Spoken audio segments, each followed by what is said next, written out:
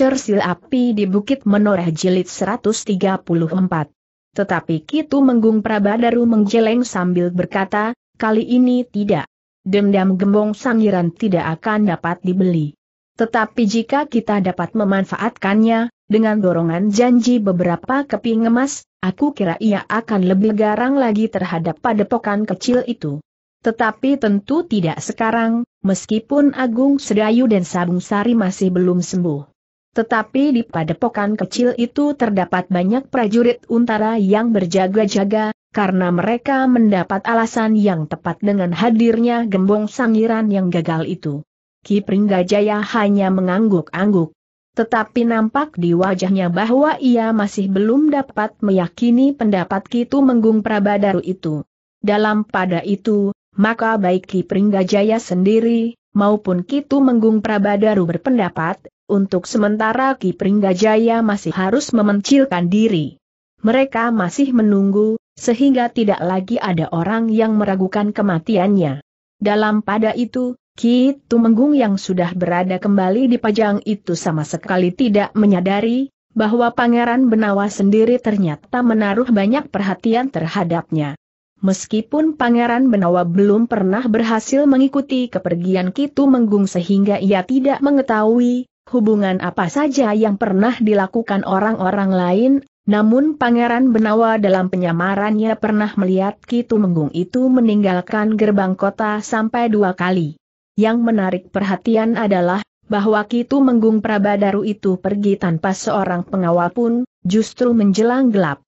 Pangeran Benawa pun menyadari, bahwa Tumenggung Prabadaru bukan orang kebanyakan, sehingga untuk mengikutinya, diperlukan perhitungan yang lebih cermat. Apalagi dalam perjalanan berkuda, agaknya tidak mudah untuk melakukannya. Namun demikian, Pangeran Benawa mempunyai perhitungan bahwa kepergian Kitu Menggung Prabadaru itu ada hubungannya dengan tempat persembunyian Ki Pringgajaya. Meskipun demikian, Pangeran Benawa tidak dapat bertindak dengan tergesa-gesa. Pada saat-saat tertentu ia masih ingin bertemu dengan Kiai Gringsing yang pernah diajaknya menempuh perjalanan yang khusus untuk menekuni sebuah kuburan. Aku harus menemuinya, berkata Pangeran Benawa di dalam hatinya. Tetapi Pangeran Benawa memang sangat berhati-hati. Perkembangan terakhir memang membuatnya berprihatin atas Pajang. Namun jika penyakitnya kambuh, maka ia menjadi acuh tidak acuh lagi terhadap keadaan di Pajang. Agaknya sikap ayahnya sebagai pribadi benar-benar telah mengecewakannya. Tetapi Pangeran Benawa mempunyai sikap tersendiri untuk menyatakan kekecewaannya, sehingga karena itu, maka kadang-kadang orang menjadi sangat sulit untuk mengerti sikapnya. Sementara itu, di padepokan kecil di Kademangan Jati Anom, Kiai Gringsing dengan tekun mengobati Agung Sedayu dan Sabung Sari yang masih belum sembuh sama sekali. Meskipun demikian keadaannya setiap hari menjadi berangsur baik. Luka-luka mereka tidak terasa lagi. Namun tenaga mereka masih belum pulih kembali. Sementara itu padepokan Gunung Kendeng masih saja dibakar oleh dendam yang membara. Kematian orang-orangnya yang terbaik membuat Gembong Sangiran marah tetapi ia tidak dapat menolak kenyataan, bahwa padepokannya bagaikan telah menjadi lumpuh. Dengan cermat ia mempelajari kekalahannya. Kekalahan yang pernah dialami oleh orang-orang lain, termasuk carang wajah, keluarga dari pesisir rendut. Jika aku berbuat sekali lagi, maka aku tidak boleh terperosok ke dalam kegagalan yang sangat memalukan dan memunahkan isi perguruanku, berkata gembong sangiran di dalam hatinya.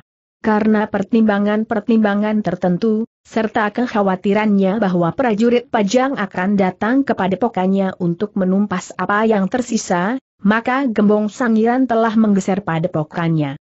Tidak terlalu jauh, tetapi jarak yang pendek itu, memungkinkannya untuk mengambil sikap tertentu jika benar-benar ada tindakan dari prajurit Pajang karena ia telah melakukan serangan atas padepokan kecil di Jati Anum itu, meskipun ia gagal.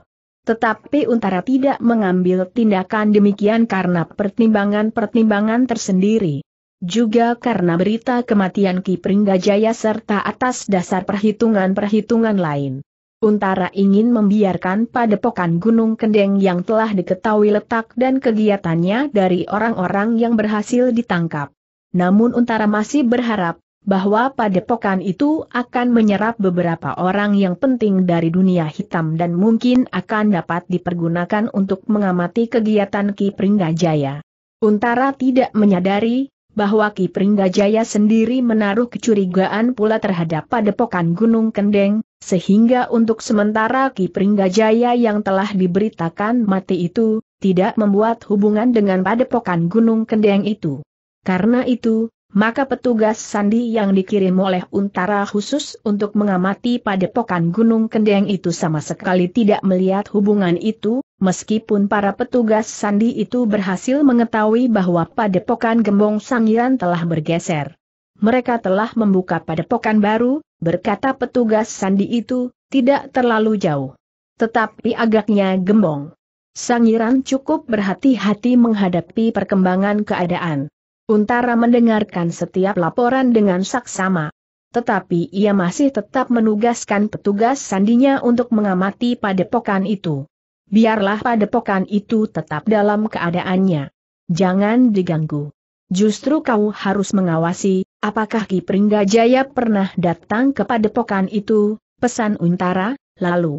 Tetapi ingat, jika rahasia ini sampai merembes ke telinga orang lain, maka taruhannya adalah nyawamu.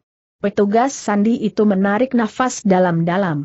Tetapi mereka sudah menyadari, bahwa tugasnya memang memerlukan kesungguhan sikap dan pertanggungan jawab.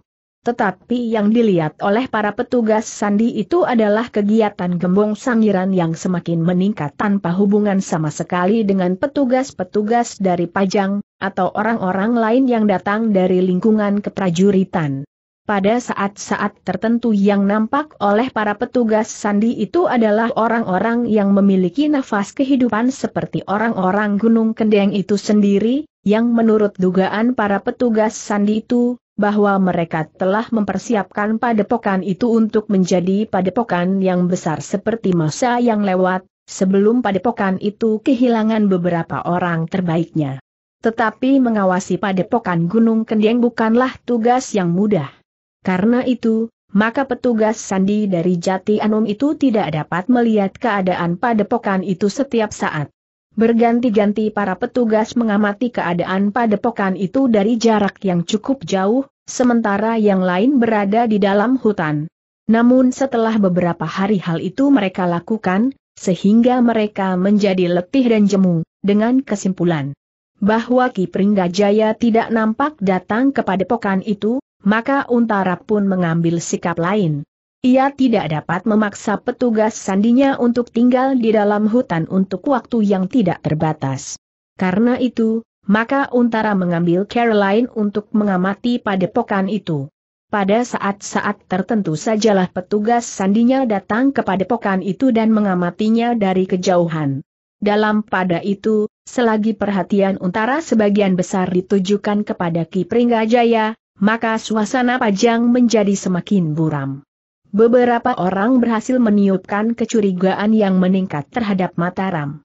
Meskipun beberapa kali Pajang mengirimkan beberapa orang ke Mataram, untuk meyakinkan bahwa tidak ada persiapan perang di Mataram, namun sikap Raden Sutawijaya yang bergelar Senapati Inggalaga yang keras itu, dapat dipergunakan untuk memperkuat setiap kecurigaan Pajang terhadap Mataram bahwa Senapati Inggalaga tetap tidak mau datang menghadap ke Pajang, meskipun dengan alasan sentuhan atas harga dirinya, namun adalah satu kenyataan bahwa Mataram telah menggali jarak yang oleh pihak tertentu justru telah dengan sengaja memberikan gambaran bahwa jarak itu adalah jarak yang tidak dapat diseberangi. Senapati Inggalaga tidak mau datang menghadap. Kenyataan itulah yang selalu disebut-sebut oleh beberapa orang dengan sengaja. Suasana itu membuat Sultan Pajang menjadi semakin berprihatin. Sikap Sutawijaya memang sulit untuk dimengerti oleh ayahanda angkatnya. Sementara itu sikap Pangeran Benawa pun membuat Sultan Pajang menjadi semakin cemas. Dalam suasana yang demikian itulah Agung Sedayu dan Sabung Sari berangsur menjadi pulih kembali kesehatannya. Mereka mulai membiasakan diri dengan gerak yang ringan. Setiap pagi mereka mulai jalan-jalan mengelilingi halaman dan kebun padepokan kecil itu. Namun semakin lama, mereka mulai dengan gerak yang semakin berat. Sementara itu, betapapun juga terasa oleh Sekar Mirah kegelisahan yang semakin meningkat. Ia tidak segera mendengar berita tentang keadaan Agung Sedayu. Apakah keadaannya sudah menjadi berangsur baik atau tidak? Akhirnya Sekar Mirah tidak dapat menahan hati lagi. Ketika desakan itu menjadi semakin kuat, maka ia mulai mengeluh kepada kakak iparnya. Aku ingin menengoknya, berkata Sekar Mirah. Pandan Wangi dapat mengerti perasaan gadis itu. Karena itu, maka ia pun berkata, aku akan menyampaikannya kepada Kakang Suandaru. Sekar Mirah menarik nafas dalam-dalam. Katanya, hati-hatilah. Kadang-kadang Kakang Suandaru bersikap lain. Jika kau dapat menjelaskan perasaanku, agaknya ia tidak akan berkeberatan. Pandan Wangi tersenyum. Katanya, aku akan mencobanya. Demikianlah pada saat yang dianggap tepat oleh Pandan Wangi, maka ia pun menyampaikan maksud Sekar Mirah untuk pergi ke Jati Anom, melihat keadaan Agung Sedayu. Kita harus berjaga-jaga di kademangan ini, berkata Suandaru. Tetapi cobalah mengerti perasaan adikmu, Kakang. Berkata Pandan Wangi, Agung Sedayu mempunyai tempat tersendiri di dalam hatinya. Suandaru menarik nafas dalam-dalam. Katanya, aku mengerti. Tetapi apakah kepergiannya ke Jati Anum itu akan ada manfaatnya? Maksudku, dalam keadaan yang semakin gawat sekarang ini. Rasa-rasanya dendam terhadap padepokan itu masih tetap membara. Karena itu, maka perjalanan ke Jati Anom masih mungkin akan mengalami kesulitan, atau jika kita bersama-sama pergi Jati Anom, kademangan inilah yang akan dapat mengalami kesulitan. Jarak antara Jati Anom dan Sangkal Putung tidak terlalu jauh. Kita dapat menyisihkan waktu. Sebentar. Tentu di siang hari. Kita siapkan sejumlah pengawal terbaik untuk mengawasi keadaan kademangan ini selama kita pergi. Berkata Pandan Wangi, jangan biarkan Sekar Mirah selalu dibayangi oleh mimpi buruk tentang seseorang yang selalu lekat di hatinya. Suandaru menarik nafas dalam-dalam. Ia mulai mempertimbangkan kemungkinan-kemungkinan yang dapat dilakukan. Dan ia pun mulai memikirkan betapa gelisah adik perempuannya itu. Baiklah, berkata Suandaru, aku akan mengatur waktu yang paling baik, tetapi jangan terlalu lama, berkata Pandan Wangi. Lalu, kau tentu mengerti, bahwa menahan perasaan rindu agaknya terlalu sulit bagi seorang gadis seperti Sekar Mirah. Suandaru akhirnya tersenyum sambil berkata, baiklah. Aku akan berbicara dengan ayah. Ketika kemudian Suandaru menyampaikan hal itu kepada ayahnya, maka Ki Demang pun tidak dapat menahannya. Tetapi ia minta agar Suandaru dapat mengatur segala sesuatu agar kademangan yang bakal ditinggalkan tidak akan mengalami kesulitan. Bukankah kau dan Pandan Wangi akan mengantarkan Sekar Mirah ke Jati Anom bertanya ayahnya. Ya, ayah. Dalam keadaan seperti ini, aku tidak akan sampai hati membiarkannya pergi sendiri, berkata Suandaru.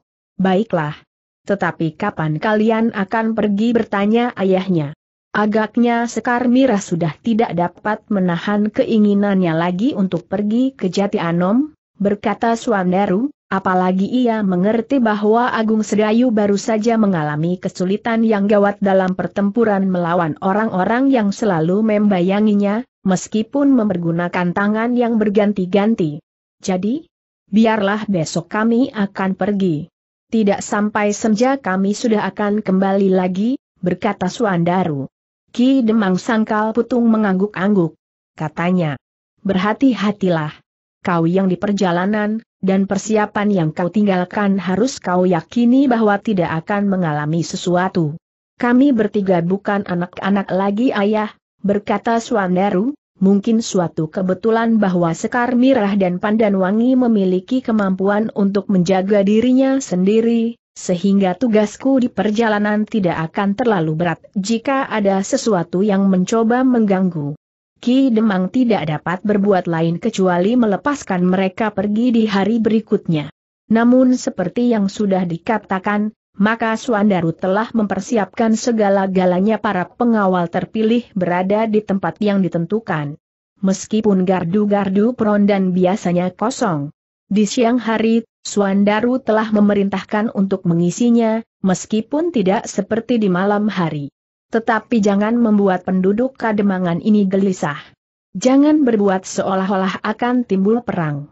Lakukanlah tugas kalian tanpa menimbulkan kegelisahan dan menarik perhatian. Kalian dapat pergi ke sawah seperti biasa. Kalian dapat melakukan pekerjaan seperti hari-hari yang lain.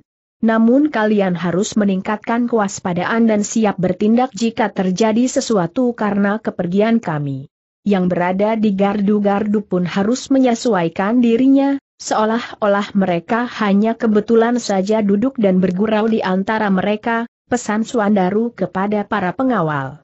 Sementara itu, Suandaru, Pandanwangi dan Sekar Mirah telah bersiap untuk menempuh perjalanan yang tidak terlalu panjang. Meskipun demikian, mereka harus berhati-hati, bahwa mereka termasuk orang yang dianggap mempunyai sangkut paut yang rapat dengan Agung Sedayu. Namun yang kemudian berkuda menyusuri bulak-bulak panjang itu adalah tiga orang yang memiliki kemampuan yang tinggi di dalam olah kanuragan. Karena itulah, maka mereka tidak terlalu cemas seandainya mereka bertemu dengan orang-orang yang bermaksud buruk terhadap mereka.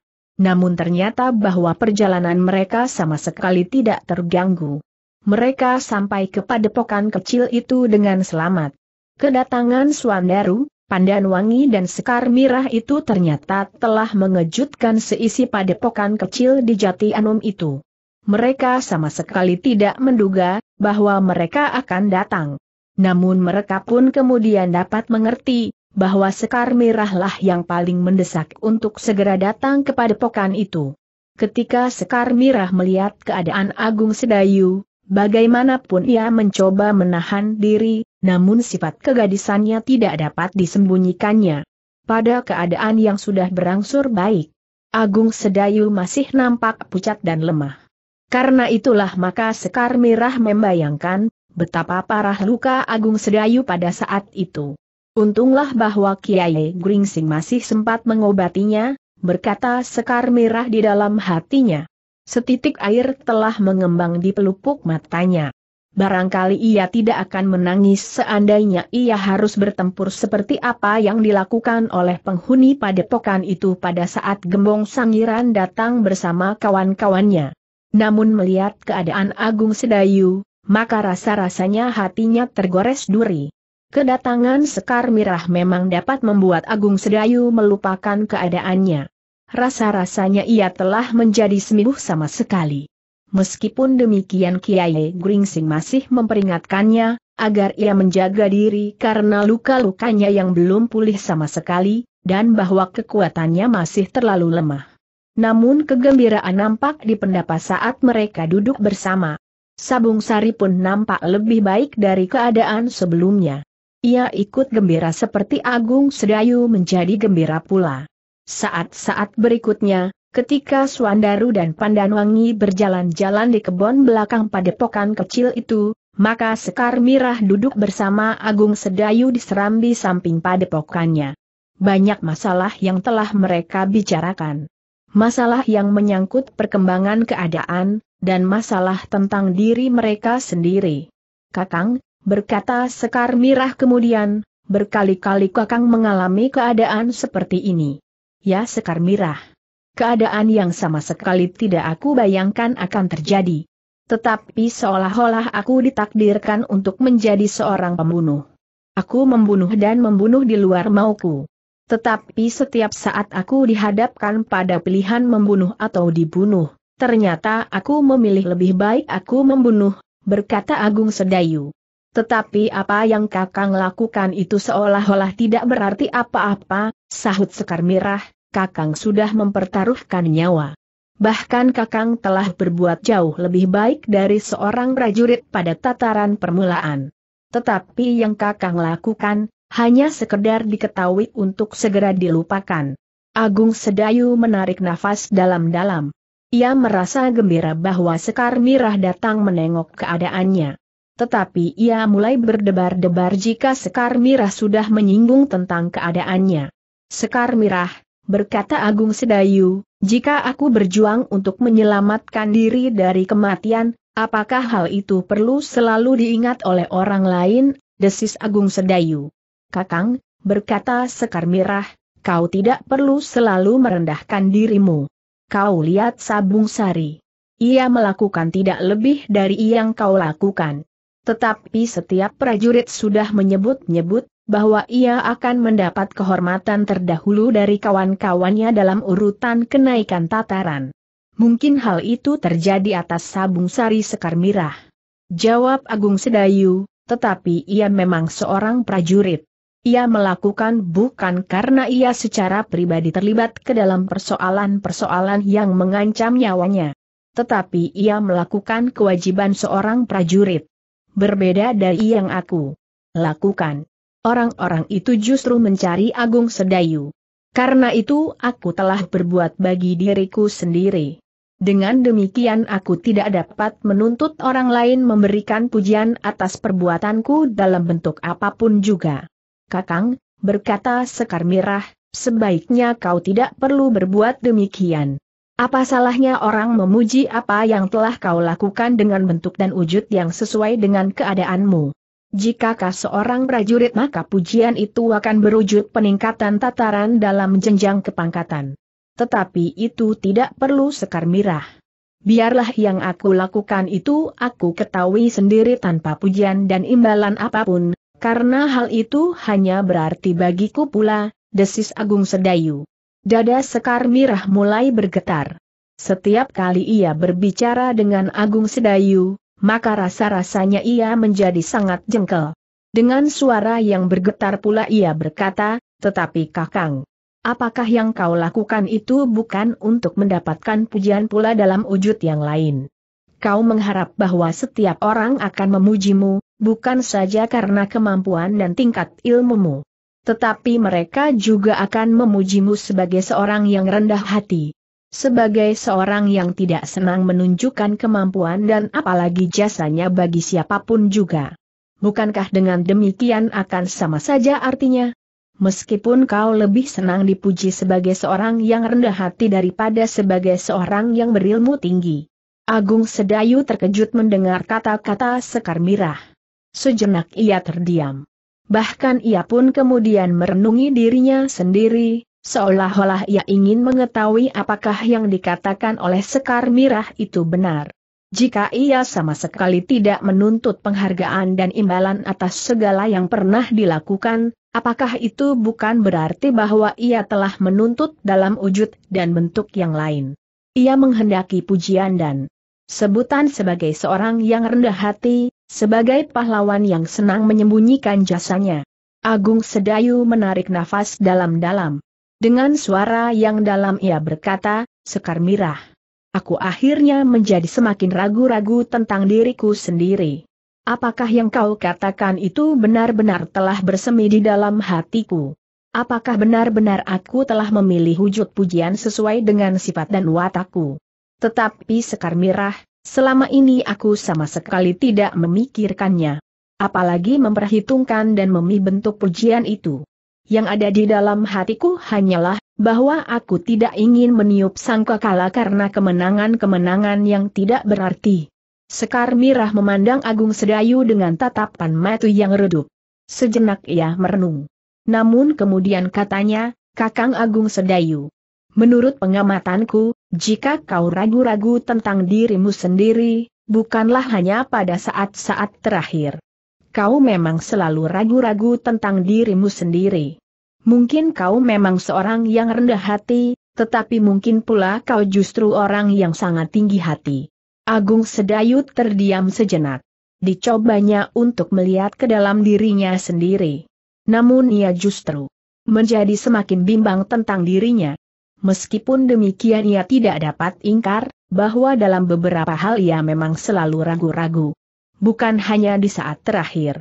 Tetapi sifat itu ada sejak ia menyadari kehadirannya. Meskipun demikian ia pun kemudian berkata, Sekar Mirah.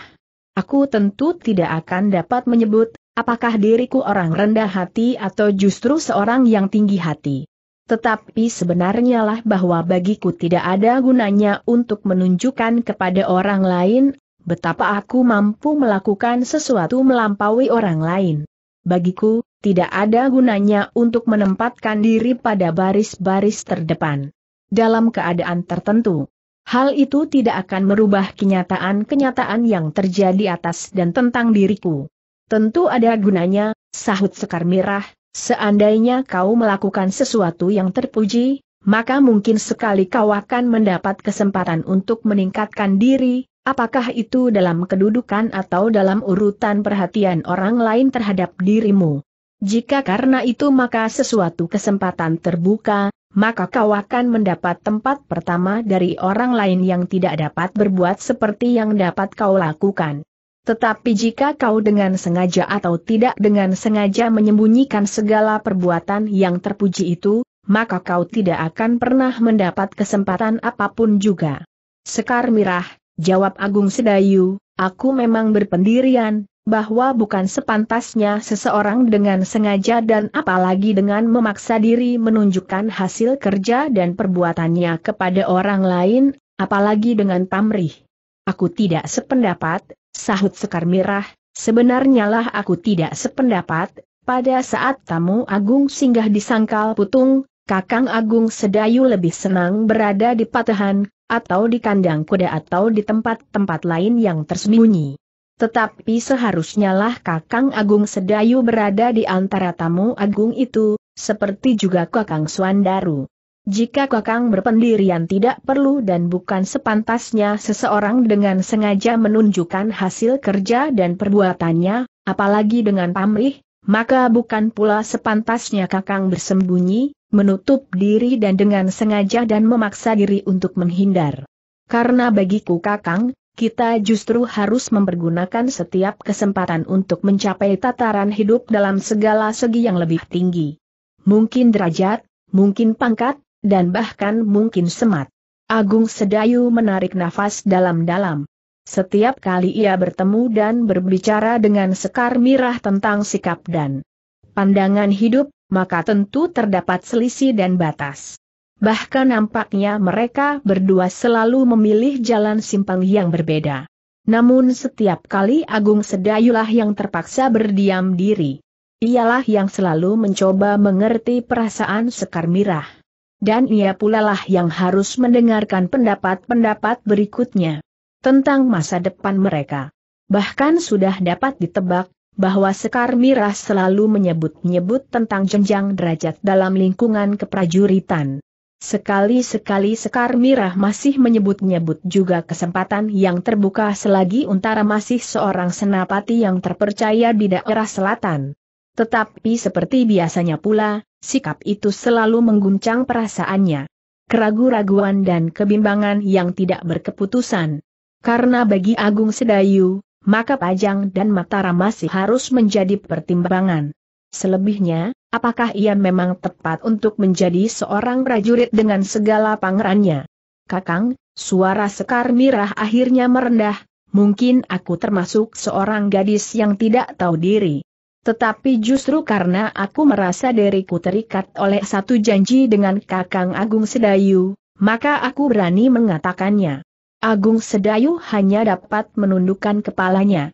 Kakang, mungkin bagi Kakang, Seorang laki-laki, hal ini tidak akan terlalu terasa. Tetapi bagi seorang gadis, maka waktu akan ikut serta menentukan. Umurku setiap hari bertambah, sehingga akhirnya aku akan menjadi seorang perawan tua. Cobalah kau ikut memikirkan kakang. Sebenarnya lah kedatanganku kemari sama sekali tidak bermaksud membuat hatimu menjadi risau. Akulah yang risau karena aku selalu ingin melihat keadaanmu. Tetapi setiap aku bertemu dengan kau, maka perasaanku tidak lagi dapat aku bendung lagi. Aku hanya ingin kau mengetahui perasaanku kakang, suara Sekar Mirah mulai bergetar. Agung Sedayu mengangguk kecil sambil menjawab, aku mengerti Sekar Mirah. Aku selalu memikirkannya. Tetapi hatiku yang lemah selalu gagal untuk menemukan keputusan. Kakang, kau bukan saja seorang yang rendah hati atau bahkan tinggi hati.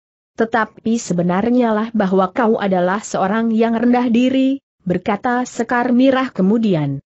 Cobalah kau bangkit dari mimpimu yang samar-samar itu. Cobalah mengambil sikap. Hidupku sebagian akan tergantung pula kepadamu, Sekar Mirah, suara Agung Sedayu semakin merendah. Aku akan mencoba untuk mengambil sikap.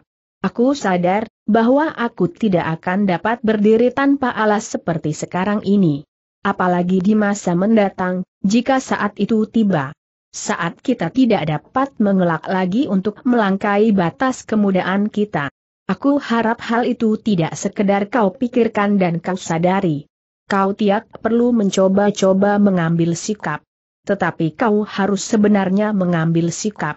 Aku jangan kau paksa terayun-ayun dalam angan-angan seperti sekarang ini untuk waktu yang tidak terbatas, tetapi tiba-tiba suara sekar.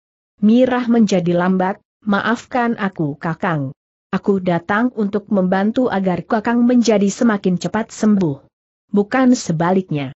Tetapi kadang-kadang aku memang tidak dapat menyembunyikan kerisauan ini. Aku mengerti sekar mirah. Aku mengerti, desis Agung Sedayu. Sekar Mirah tidak berbicara lagi. Keduanya pun diam untuk beberapa saat sambil memandang dunia angan-angan masing-masing.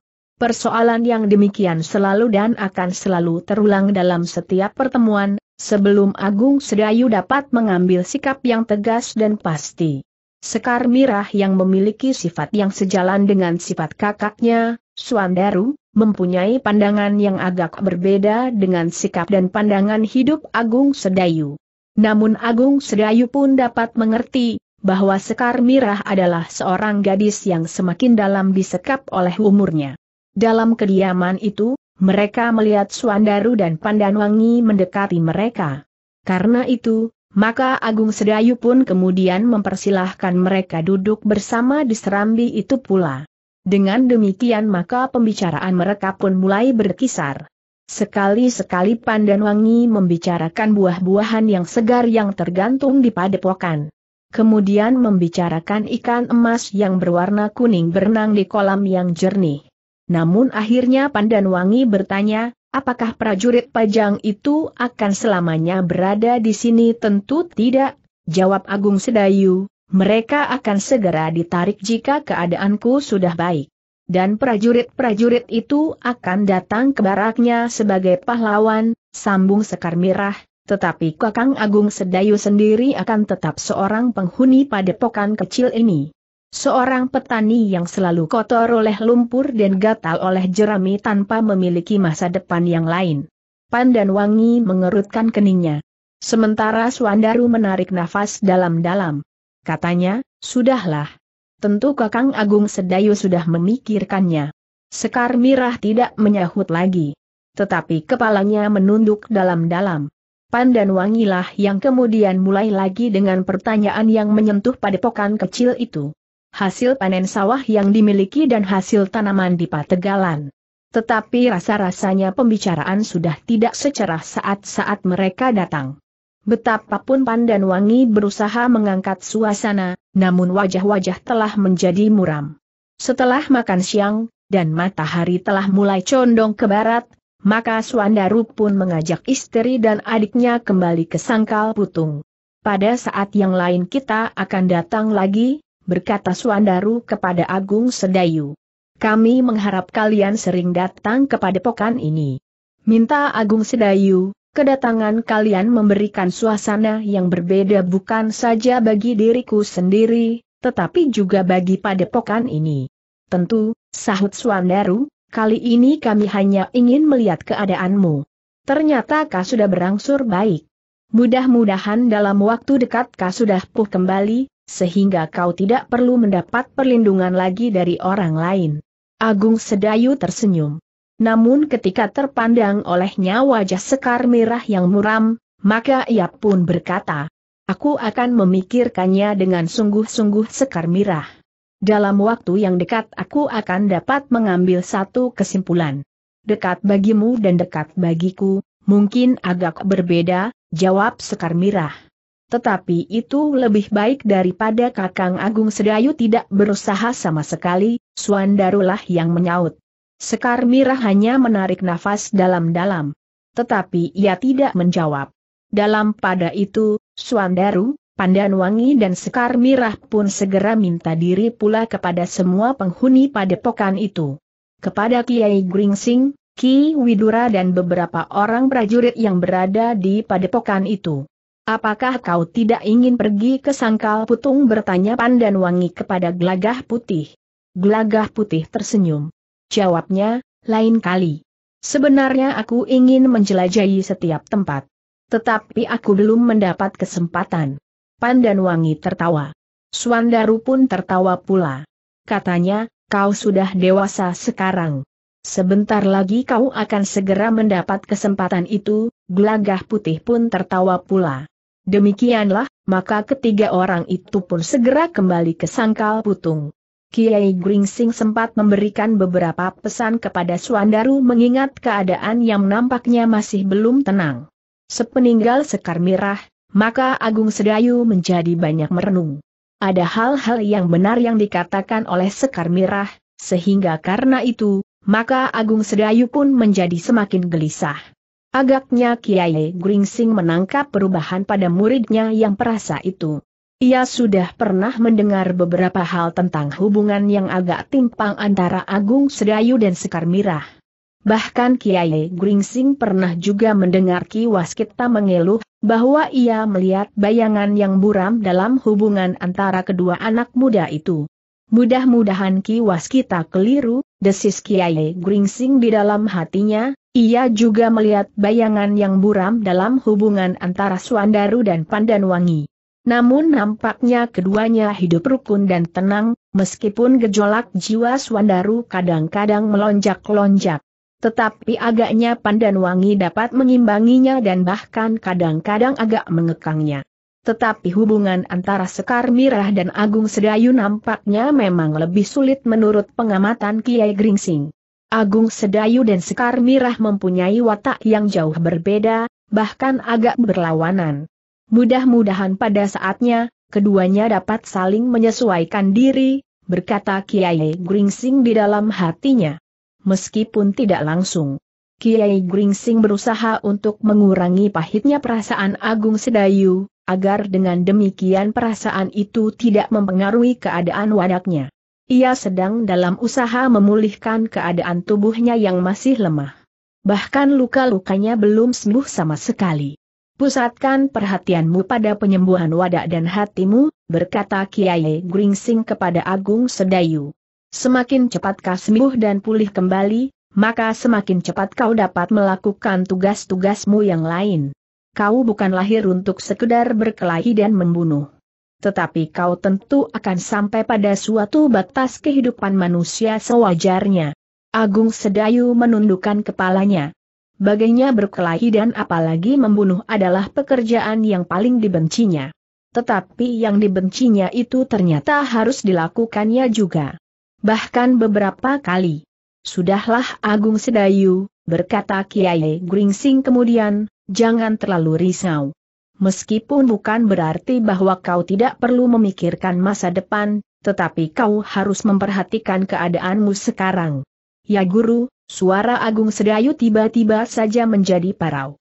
Sabung Sari yang melihat keadaan Agung Sedayu yang nampaknya diselubungi oleh kegelisahan, tidak ingin menambah dengan beban-beban yang akan semakin menggelisahkannya. Karena itu, Sabung Sari justru tidak bertanya sama sekali, kenapa Agung Sedayu sepeninggal Sekar Mirah menjadi muram. Tetapi ia justru mencoba mengalihkan perhatian Agung Sedayu terhadap keadaan dirinya sendiri. Dalam pada itu, Suandaru dan istri serta adiknya tengah berpacu menuju ke sangkal putung. Tidak. Banyak yang mereka percakapkan di sepanjang jalan. Hanya kadang-kadang saja mereka berbincang tentang sawah dan ladang yang mereka lalui juga tentang hutan yang tidak terlalu lebat, meskipun masih menyimpan binatang buas di dalamnya. Namun harimau sama sekali tidak menggetarkan hati anak-anak muda itu. Pandan Wangi pun sangat membatasi pembicaraannya. Ia tidak ingin salah ucap, sehingga membuat hati Sekar Mirah menjadi semakin suram. Bagi Sekar Mirah, Agung Sedayu seolah-olah tidak memperhatikan sama sekali masa depan mereka. Atau bagi Sekar Mirah, Agung Sedayu adalah seorang yang tidak mempunyai gairah hidup sama sekali. Ia menerima apa yang datang kepadanya tetapi ia sama sekali tidak berusaha untuk mencapai sesuatu yang lebih baik. Apalagi berjuang dengan gairah dan penuh dengan nyala api kehidupan. Namun justru karena itu, maka perjalanan mereka rasa-rasanya menjadi semakin cepat. Sebelum matahari hilang di punggung pegunungan di sebelah barat, mereka telah memasuki kademangan sangkal putung. Namun demikian mereka memasuki regol halaman, maka mereka telah dikejutkan oleh beberapa ekor kuda yang terikat pada tiang-tiang pendek di pinggir halaman. Ketika kemudian mereka berloncatan turun, maka mereka pun melihat seorang anak muda yang bertubuh sedang, dengan pedang panjang di lambung menyongsong mereka. Sebuah senyum yang segar membayang di wajahnya yang cerah. Prastawa, hampir berbareng ketiga orang yang haru datang itu menyebut namanya. Prastawa tertawa. Katanya, hampir saja aku menyusul kalian ke Jati Anom. Tetapi Kidemang menahanku di sini, karena kalian akan segera datang. Kapan kau datang Prastawa bertanya Swandaru? Lewat tengah hari. Aku sudah menunggumu terlalu lama, jawab Prastawa. Marilah, duduklah kembali, ajak Swandaru. Mereka pun kemudian naik kembali ke pendapa.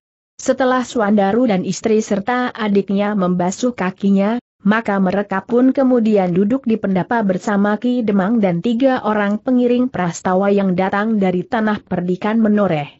Setelah mereka saling menanyakan keselamatan masing-masing, maka Suandaru pun bertanya, kedatanganmu mengejutkan, apakah ada sesuatu yang penting yang akan kau sampaikan kepada kami di sini, atau kau sekedar ingin menengok keadaan kami?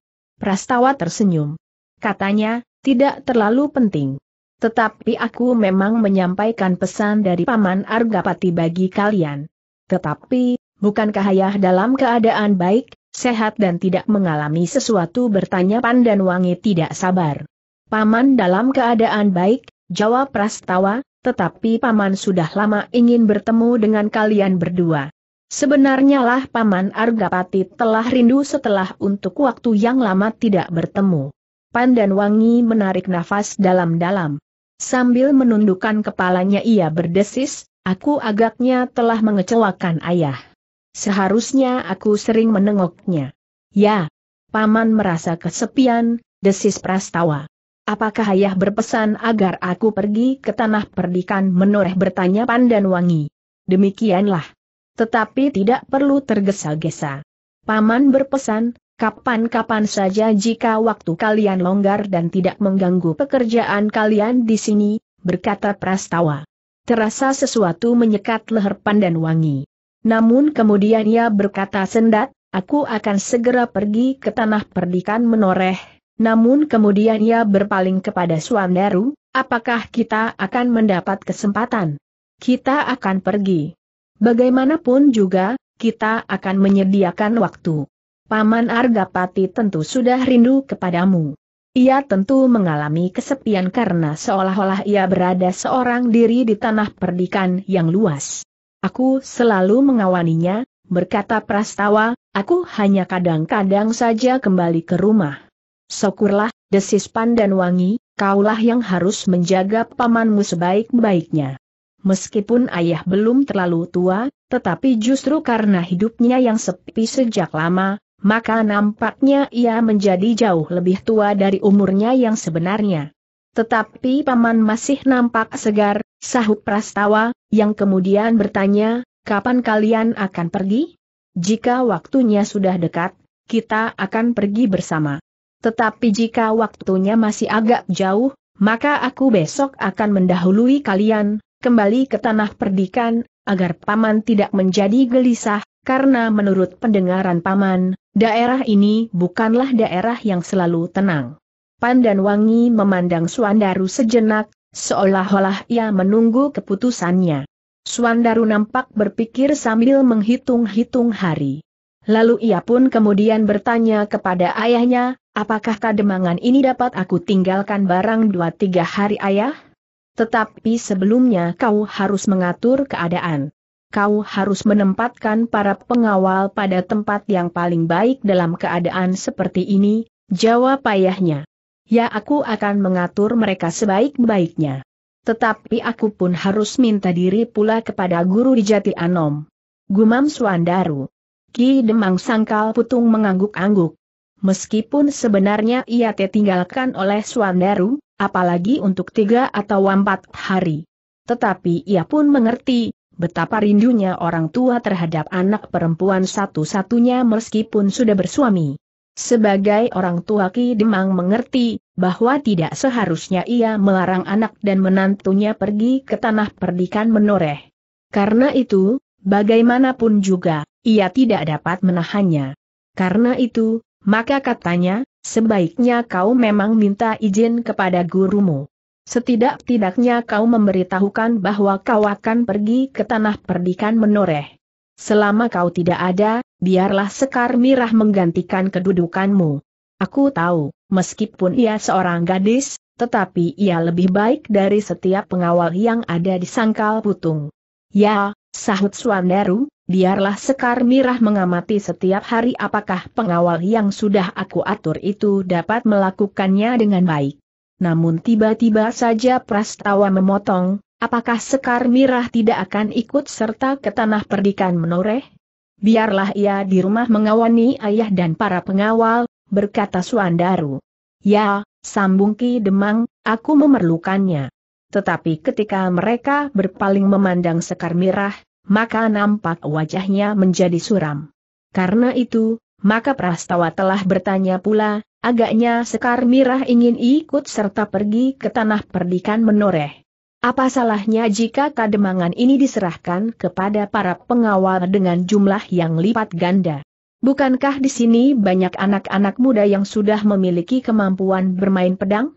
Tetapi tanpa seorang pendega yang memiliki kelebihan dari mereka, maka rasa-rasanya agak kurang mapan juga. Sahut Ki Demang. Biarlah ia tinggal, desis Wandaru, ayah akan selalu gelisah jika kita semuanya pergi bersama-sama. Itu tidak adil, berkata Prastawa, seharusnya Sekar Mirah pun diperkenankan untuk pergi, persoalannya lain Prastawa, berkata Pandan Wangi. Sebenarnya ada baiknya jika Sekar Mirah tinggal di rumah. Perjalanan kami pun tentu tidak akan menyenangkan karena kegelisahan perasaan. Mungkin pada kesempatan lain, dalam perjalanan tamasya kita akan pergi bersama-sama. Tetapi tentu saja dengan mengingat keadaan kademangan ini. Kecemasan kalian tentang kademangan ini agak berlebih-lebihan, berkata Prastawa, tetapi jika perlu kenapa kalian tidak memanggil Agung Sedayu dan menyuruhnya menjaga kademangan ini? Tentu tidak mungkin, tiba-tiba saja Sekar Merahlah yang menjawab, sebenarnya lah bahwa aku memang ingin ikut serta bersama kalian menempuh perjalanan yang tidak terlalu jauh, tetapi juga tidak terlalu dekat. Aku sependapat bahwa kademangan ini dapat diserahkan kepada para pengawal. Tetapi tentu bukan Kakang Agung Sedayu. Ia bukan peronda upahan yang dapat disuruh melakukan sesuatu sekehendak hati kita. Dan apakah hak kita menyuruhnya menjaga kademangan ini, kecuali atas kehendaknya sendiri, seperti aku tentu tidak akan dapat menyuruhmu tinggal di sini selama kami pergi ke tanah perdikan menoreh. Prastawa menegang sejenak. Namun ia pun kemudian menyadari bahwa Sekar Mirah bukan orang lain bagi Agung Sedayu. Ada ikatan di antara mereka meskipun masih belum ditetapkan sebagai ikatan mati. Namun dengan demikian justru keinginannya untuk mengajak Sekar Mirah pergi ke tanah perdikan menoreh menjadi semakin besar, sehingga katanya kemudian, Sekar Mirah, aku minta maaf. Mungkin kata-kataku telah terdorong. Tetapi aku sebenarnya tidak bermaksud apa-apa. Aku hanya ingin mengatakan, bahwa kademangan ini dapat mengambil care apa pun agar kau dapat pergi ke tanah perdikan menoreh bersama Kakang Suandaru berdua. Sekar Mirah menarik nafas dalam-dalam. Tetapi ia tidak menjawab. Yang kemudian berkata adalah Ki Demang, tetapi semuanya terserah kepadamu Sekar Mirah. Jika kau memang benar-benar ingin pergi, pergilah. Tetapi penjagaan para pengawal atas kademangan ini harus benar-benar diperkuat. Suandaru mengerutkan keningnya. Setiap kali ayahnya memang tidak dapat bertegang hati terhadap adik perempuannya. Apalagi jika matu sekar mirah kemudian menjadi kemerah-merahan. Pandan wangilah yang kemudian menjadi gelisah. Ia tidak dapat dikelabungi oleh sikap Prastawa yang bagaimanapun juga. Ia sudah dapat meraba betapa masih lembutnya perasaan Prastawa yang tertuju kepada Sekar Mirah. Sementara Sekar Mirah sudah dengan sepengetahuan beberapa pihak, terikat kepada Agung Sedayu. Tetapi Pandan Wangi tidak dapat mengatakannya. Justru karena Prastawa adalah adik sepupunya. Dalam pada itu, maka akhirnya Sekar Mirah berkata, jika ayah memang mengizinkan, biarlah aku pergi bersama Kakang Suandaru ke tanah perdikan menoreh. Sudah lama aku tidak melihat telatah di luar kademangan ini. Paling jauh, hari ini kami pergi ke Kademangan Jati Anom. Terserahlah kepadamu, jawab Ki Demang, tetapi seperti yang kau katakan Suandaru, katakanlah rencana kepergianmu kepada gurumu. Besok aku akan pergi ke Jati Anom ayah.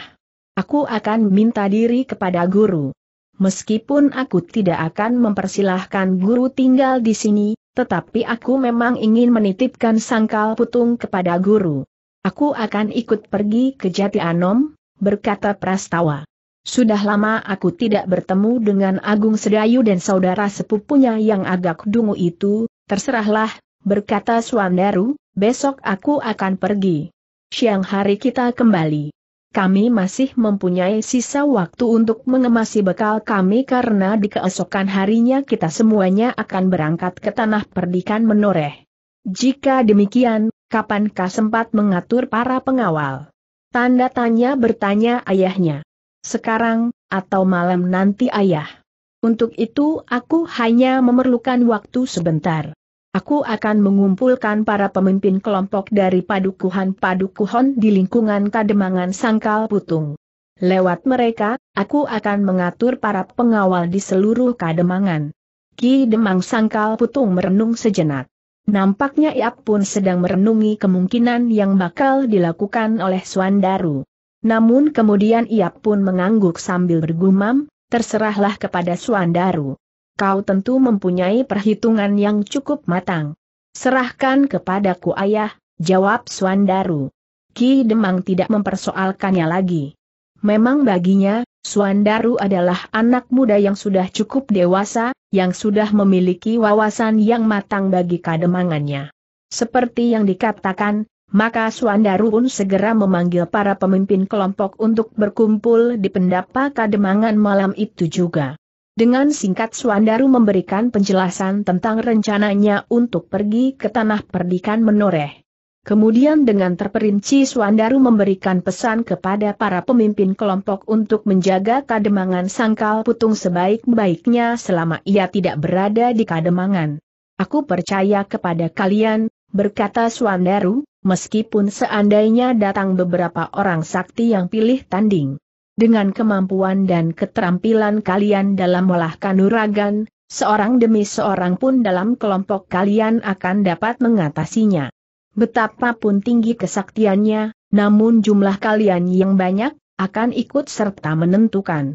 Bahkan seandainya ada di antara orang-orang sakti yang datang dengan ilmu sirep, kalian, bersama-sama akan dapat melawan kekuatan ilmu itu. Para pemimpin kelompok itu mendengarkan semua pesan Suandaru dengan saksama. Mereka pun sadar, bahwa sangkal putung telah beberapa kali dijamah oleh tangan-tangan yang sakti, tetapi berwarna kelam. Prastawa yang hadir juga di pendapa, merasa kagum atas kemampuan Suandaru mengatur anak-anak muda di kademangannya. Suandaru memiliki kemampuan berpikir kemampuan dalam olah kanuragan, dan kemampuan menguasai mereka dengan kewibawaannya. Jika di tanah perdikan menoreh ada seseorang yang memiliki keterampilan yang mumpuni seperti Suandaru, berkata Prastawa di dalam hatinya, maka tanah perdikan menoreh itu tentu akan cepat menjadi besar, melampaui masa Paman Argapati masih memiliki gairah perjuangan di masa mudanya. Tetapi sebenarnya lah bahwa tanah perdikan menoreh yang memiliki daerah yang lebih luas dari sangkal putung itu nampaknya semakin lama semakin mundur. Aku masih belum dapat berbuat seperti Suandaru, berkata Prastawa di dalam hatinya. Namun ia berjanji kepada diri sendiri, bahwa ia akan berbuat sebaik-baiknya bagi tanah perdikan itu. Aku akan mengimbangi perkembangan kademangan sangkal putung, berkata Prastawa di dalam hatinya, karena ia pun merasa bahwa ia memiliki tanggung jawab atas tanah perdikan itu. Demikianlah, ketika segalanya telah jelas dan pasti, maka para pemimpin kelompok itu pun diperkenankan meninggalkan kademangan. Namun Swandaru masih berpesan, besok malam penjagaan serupa itu harus sudah dapat aku lihat. Dengan demikian aku dapat memperhitungkan, apakah yang kalian lakukan itu sudah cukup baik. Demikianlah, ketika para pemimpin kelompok itu kembali ke padukuhannya masing-masing, maka mereka pun segera mempersiapkan para pengawal di padukuhan-padukuhan itu. Seperti saat Suandaru memberikan keterangan kepada mereka, maka mereka pun berusaha untuk memberikan keterangan sejelas-jelasnya mengenai keadaan padukuhan dan juga mengenai seluruh kademangan. Malam itu juga, mereka mulai mengatur diri. Mereka membagi para pengawal padukuhan ke dalam kelompok-kelompok yang lebih kecil. Setiap gardu harus terisi. Dan setiap tempat yang ditentukan harus dilengkapi dengan kentongan. Bukan hanya di dalam gardu-gardu tetapi di setiap rumah para pengawal itu pun harus siap dengan kentongan agar setiap isyarat dapat menjalar dengan cepat. Bahkan di antara mereka telah ditunjuk beberapa orang yang akan menjadi penghubung dari padukuhan yang satu ke padukuhan yang lain. Mereka harus menyiapkan beberapa ekor kuda yang terbaik yang ada di padukuhan itu. Ternyata perintah dan petunjuk Swandaru, malam itu sudah tersebar ke setiap telinga para pengawal. Namun mereka pun telah mendapat pesan pula dari Suandaru, jangan membuat rakyat sangkal putung menjadi gelisah, seolah-olah sangkal putung akan dibakar oleh peperangan yang dahsyat. Bagaimanapun juga, mereka masih belum dapat melupakan, saat-saat sangkal putung berhadapan dengan kekuatan Toh Pati yang bergelar macan kepatihan dari Jepang. Setelah itu, maka meskipun tidak terlalu sering tetapi sangkal putung kadang-kadang didatangi oleh orang-orang yang memiliki kemampuan melampaui manusia biasa. Pesan itu pun telah disampaikan pula oleh setiap pemimpin kelompok kepada kawan-kawannya. Demikianlah, maka sejak malam itu, para pengawal sudah mencoba mengeterapkan penempatan kelompok-kelompok kecil yang sudah mereka atur dengan sebaik-baiknya, sehingga dengan demikian mereka akan dapat melihat, apakah pembagian yang mereka atur itu sudah cukup baik sesuai dengan petunjuk Swandaru. Ketika datang hari berikutnya, maka Swandaru dan Prastawa telah bersiap-siap untuk pergi ke Jati Anom, diikuti oleh para pengiring Prastawa yang dibawanya dari tanah perdikan menoreh. Apalagi Prastawa mendengar bahwa kadang-kadang di daerah itu masih timbul bermacam-macam peristiwa yang dapat menimbulkan keadaan yang gawat. Kedatangan Swandaru ke Jati Anom memang telah mengejutkan seisi padepokan. Namun ketika Swandaru telah menjelaskan kedatangannya bersama Prastawa, maka ketegangan itu pun telah mengendor. Baru kemarin kau datang, berkata Kiai Gringsing, karena itu kami terkejut karenanya. Tetapi agaknya tidak terjadi sesuatu di sangkal putung. Aku hanya akan minta diri, sahut Swandaru. Kiai Gringsing pun kemudian memberikan beberapa pesan kepada Swandaru agar ia tidak terlalu lama meninggalkan sangkal putung. Namun ia pun memberikan pesan, agar mereka berhati-hati di perjalanan, Swandaru tidak tinggal terlalu lama di Jati Anom. Setelah semua maksudnya diberitahukan kepada Kiai Gringsing, dan setelah segala persiapan dilaporkannya, maka ia pun segera minta diri. Agung Sedayu dan Sabung Sari yang sudah berangsur baik, sempat mengantarkan Suandaru dan Prastawa sampai ke gerbang. Ketika keduanya sudah meloncat ke punggung kuda, Prastawa sempat berkata kepada Agung Sedayu. Mudah-mudahan kau cepat sembuh. Agaknya kau masih harus berlatih lebih tekun lagi, agar kau tidak dapat lagi dilukai oleh perampok-perampok yang berkeliaran di daerah ini. Agung Sedayu mengerutkan keningnya. Ia sudah mengenal Prastawa, sehingga karena itu, ia menjawab. Terima kasih Prastawa. Mudah-mudahan aku akan segera sembuh. Gelagah putih yang mempunyai kesan yang aneh sejak ia bertemu untuk pertama kali dengan Prastawa, sama sekali tidak senang melihat sikap dan mendengar pesannya. Tetapi ketika ia bergeser, Ki Widurat telah menggamitnya sambil berdesis, kau mau apa? Gelagah putih menarik nafas dalam-dalam. Tetapi ia mengurungkan niatnya. Namun dalam pada itu, Swandaru berkata, jika bukan Kakang Agung Sedayu, dan bukan prajurit muda yang bernama Sabung Sari itu, maka keduanya tentu sudah menjadi mayat. Prastawa mengerutkan keningnya. Ia merasa tidak senang mendengar jawaban Swandaru. Tetapi Swandaru justru berkata, keduanya adalah orang aneh dari padepokan kecil ini. Orang-orang Gunung Kendeng itu tentu sudah jerak untuk kembali lagi, bahkan seandainya para prajurit telah ditarik kembali. Prastawa termangu-mangu sejenak. Namun dia sadar, bahwa Agung Sedayu adalah saudara seperguruan Swandaru. Jika ia merendahkan ilmu Agung Sedayu, itu berarti, bahwa ia pun telah menganggap Swandaru demikian pula.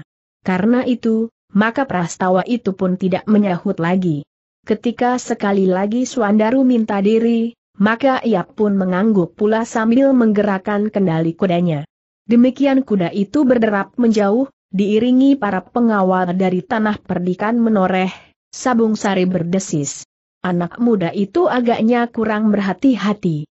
Agung Sedayu menarik nafas dalam-dalam. Tetapi ia tidak memberikan tanggapan apa pun juga. Demikianlah maka kuda Swandaru dan Prastawa kemudian berderap membelah tanah persawahan. Debu yang kebuah mengepul ke belakang kaki kuda yang berlari tidak terlalu kencang itu. Betapapun Prastawa berusaha menahan diri, namun terlontar pula pertanyaannya, apakah orang-orang Gunung Kendeng itu benar-benar orang yang pilih tanding, sehingga Agung Sedayu dan prajurit muda yang bernama Sabung Sari itu harus terluka Suandaru memandang Prastawa sejenak. Lalu katanya, kau tentu tidak dapat membayangkan, betapa tinggi ilmunya. Jika ia bukan orang yang berilmu tinggi, maka orang yang melawan Kakang Agung Sedayu dan Sabung Sari tentu tidak akan berhasil melarikan diri. Prastawa mengangguk-angguk. Namun ia masih bertanya, apakah menurut penilaianmu, Agung Sedayu itu dapat menyamai kemampuanmu? Ia adalah murid yang dianggap lebih tua dari aku, jawab Swandaru, setidak-tidaknya kita berdua mempunyai alas kemampuan yang sama. Selanjutnya tergantung kepada kita masing-masing, apakah kita dapat mengembangkan ilmu itu dengan baik. Prastawa mengangguk-angguk.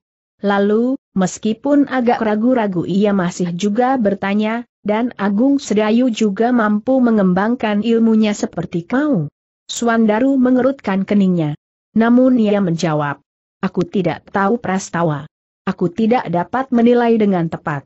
Seandainya aku dapat menilai kemampuan Kakang Agung Sedayu, namun aku tidak akan dapat menilai kemampuanku sendiri sebagai bahan perbandingan. Prastawa menarik nafas dalam-dalam.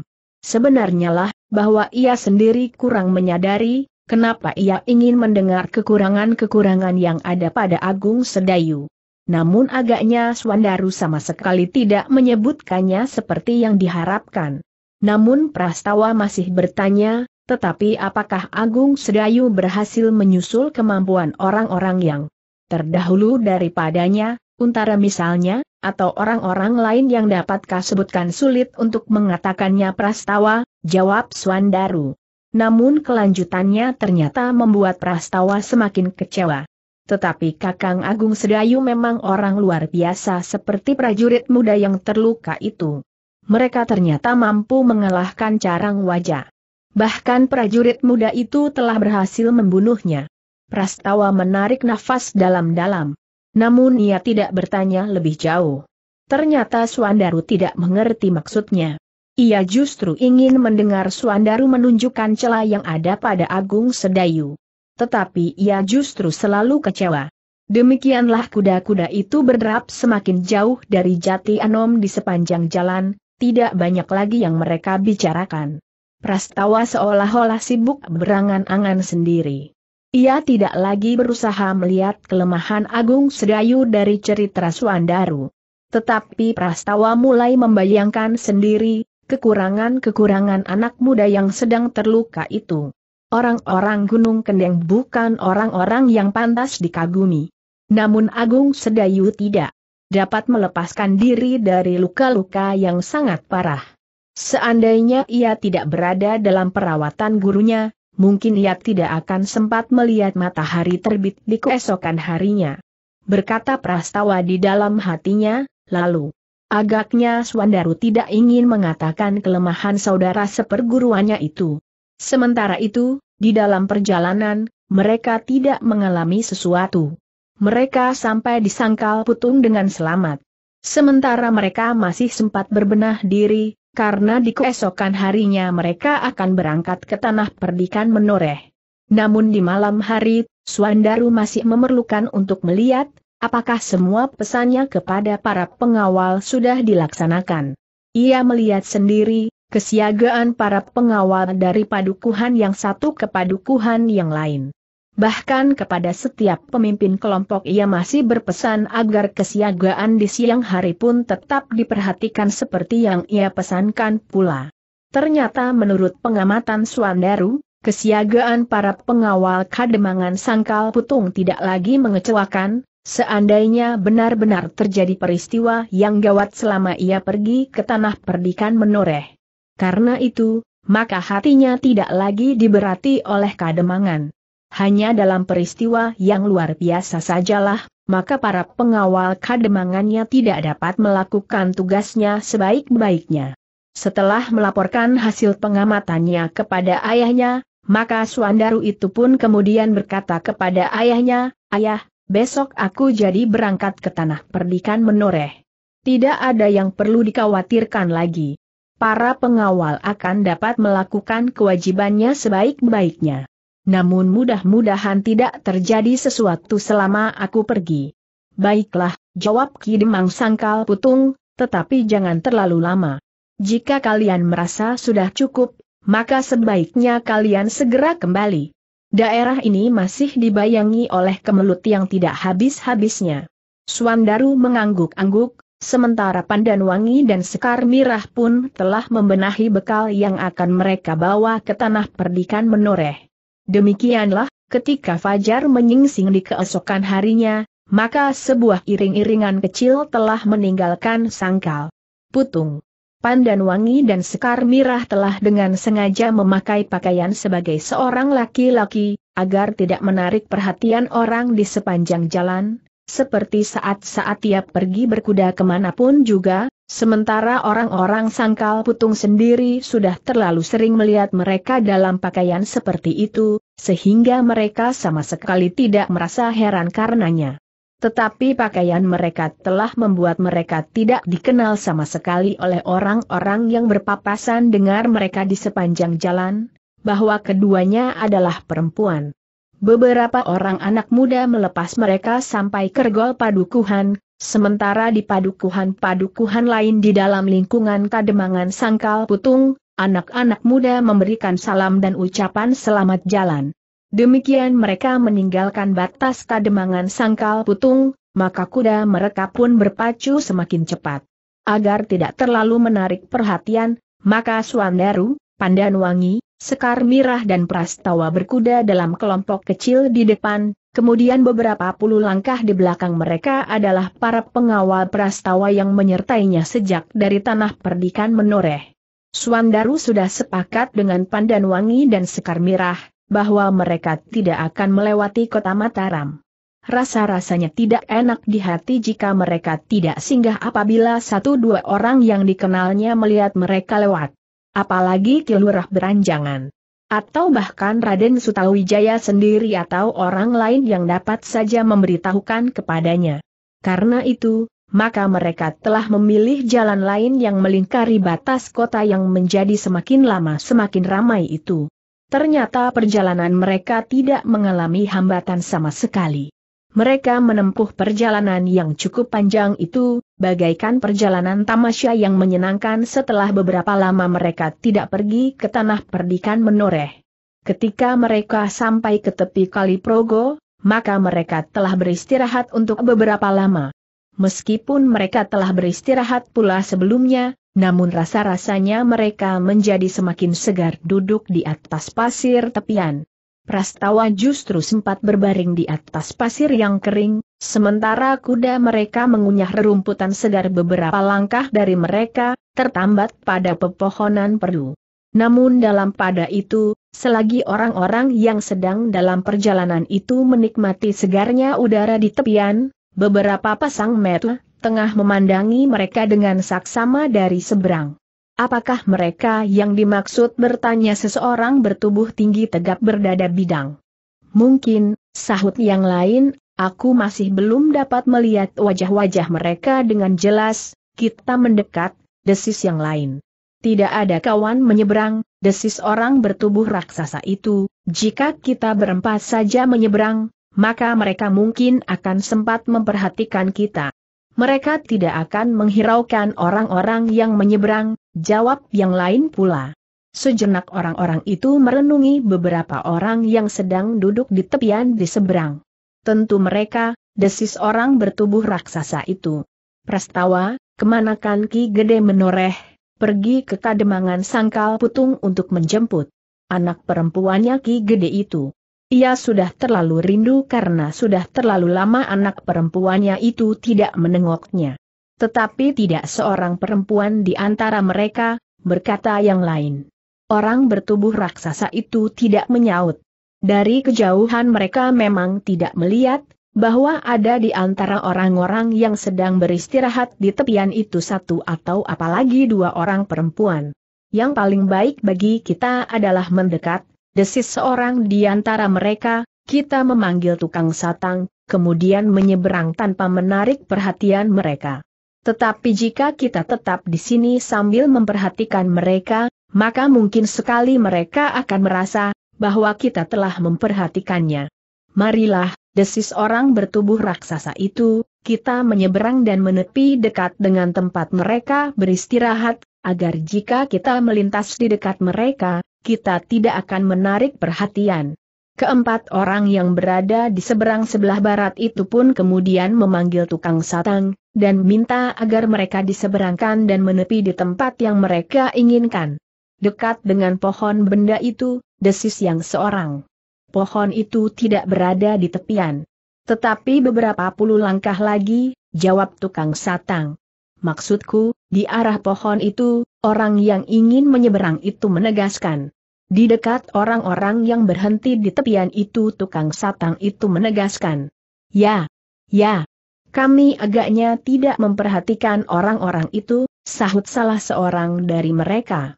Demikianlah, maka sejenak kemudian, sebuah rakit telah meluncur menyeberang kali progo yang berair coklat berlumpur. Selama mereka berada di atas rakit, mereka hampir tidak berbicara apa pun juga. Satu dua rakit yang lain, melintas di dekat rakit mereka. Yang lain menyelang ke arah yang berlawanan. Saat itu, agaknya jalan tidak terlalu ramai. Tetapi ada juga satu dua orang pedagang yang membawa barang dagangan menyeberang. Swandaru sama sekali tidak menghiraukan orang-orang yang berada di atas rakit. Yang menyeberang ke arahnya maupun yang berlawanan. Angin yang lembut membuatnya mengantuk. Ketika ia melihat Prastawa memejamkan matanya, ia pun tersenyum. Apakah kita akan menunggu senja di sini, desis Wandaru?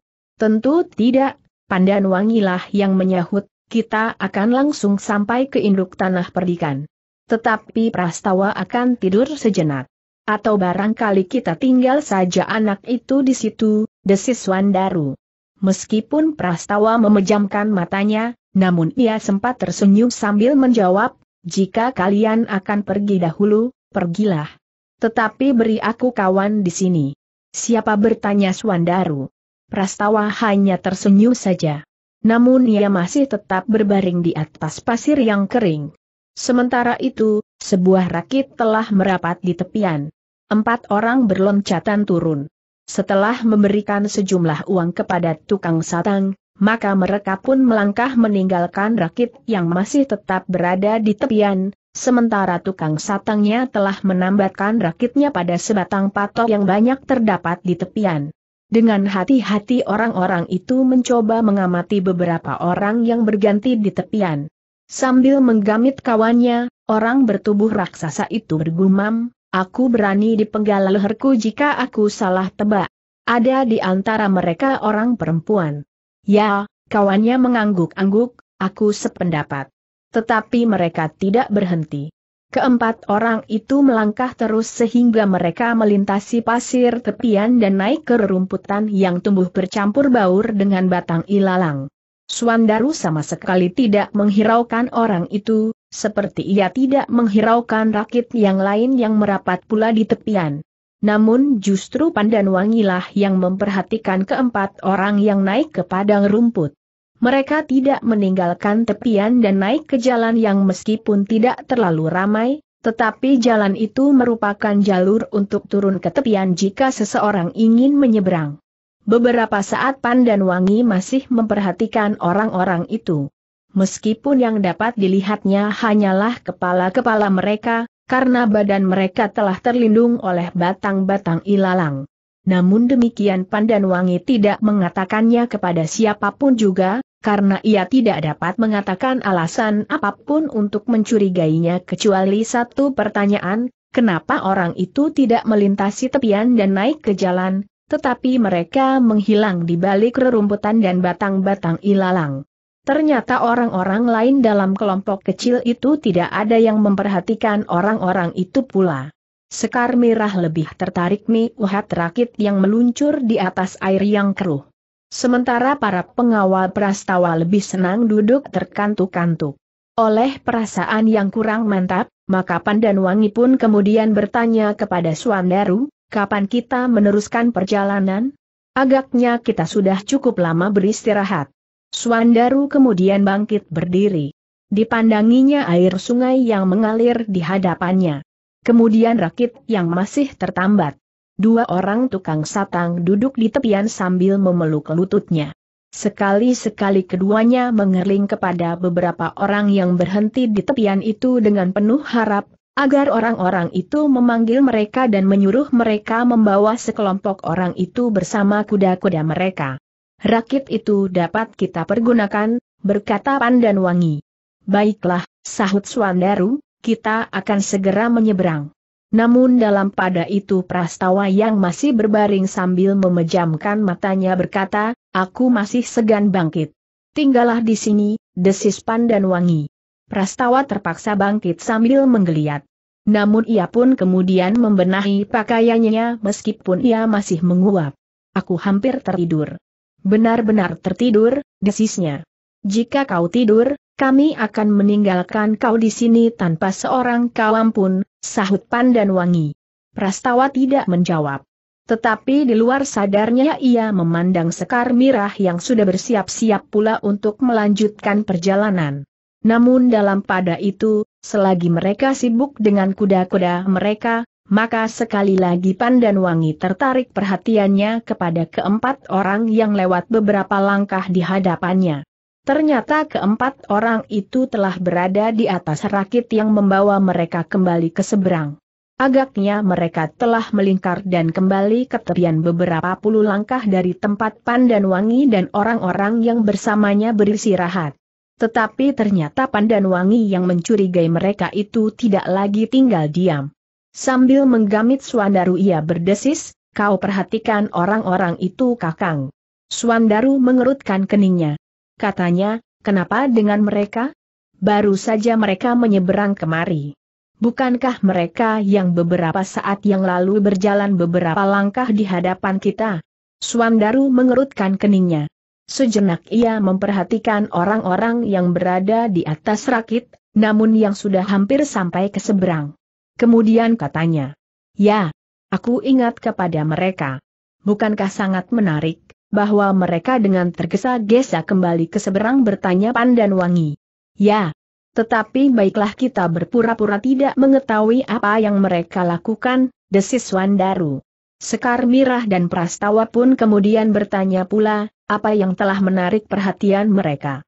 Yang dengan singkat dijawab oleh Pandan Wangi, tentang empat orang yang mencurigakan itu.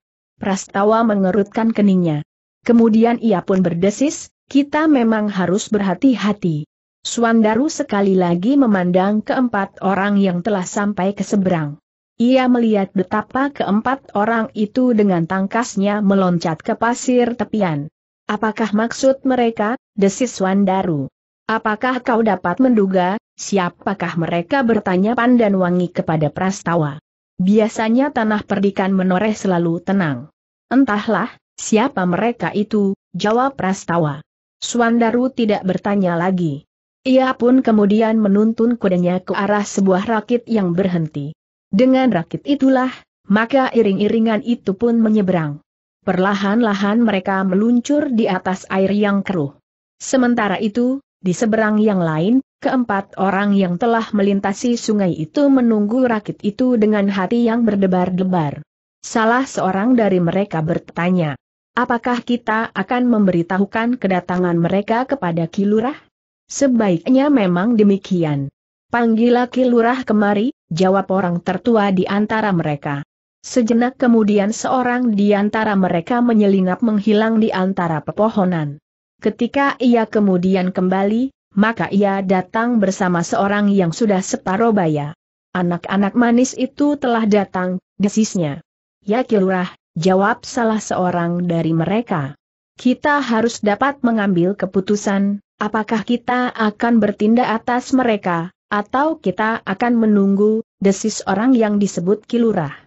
Mereka berjumlah tujuh orang. Dua di antara mereka tentu perempuan, sahut yang lain. Kita berlima sekarang, berkata kawannya. Orang yang disebut Kilurah itu termangu-mangu. Kemudian katanya, kita mempunyai beberapa pilihan. Kita dapat bertindak sekarang, atau nanti jika mereka kembali ke sangkal putung jumlah mereka tentu berkurang. Anak tanah perdikan menoreh beserta pengawalnya itu tentu tidak akan ikut lagi ke sangkal putung. Kawan-kawannya berpikir sejenak. Namun seorang yang bertubuh raksasa itu berkata, tetapi kapan mereka akan kembali ke sangkal putung? Kita akan kehilangan waktu beberapa hari lagi. Tetapi kau jangan sekedar terburu nafsu. Kau harus menghitung kekuatan orang-orang itu yang seorang adalah murid orang bercambuk itu. Ia adalah saudara seperguruan Agung Sedayu, meskipun mungkin ia tidak mempunyai kemampuan setingkat Agung Sedayu yang telah dapat membunuh murid terbaik dari Gunung Kendeng. Dua orang perempuan itu tentu Pandan Wangi dan Sekar Mirah.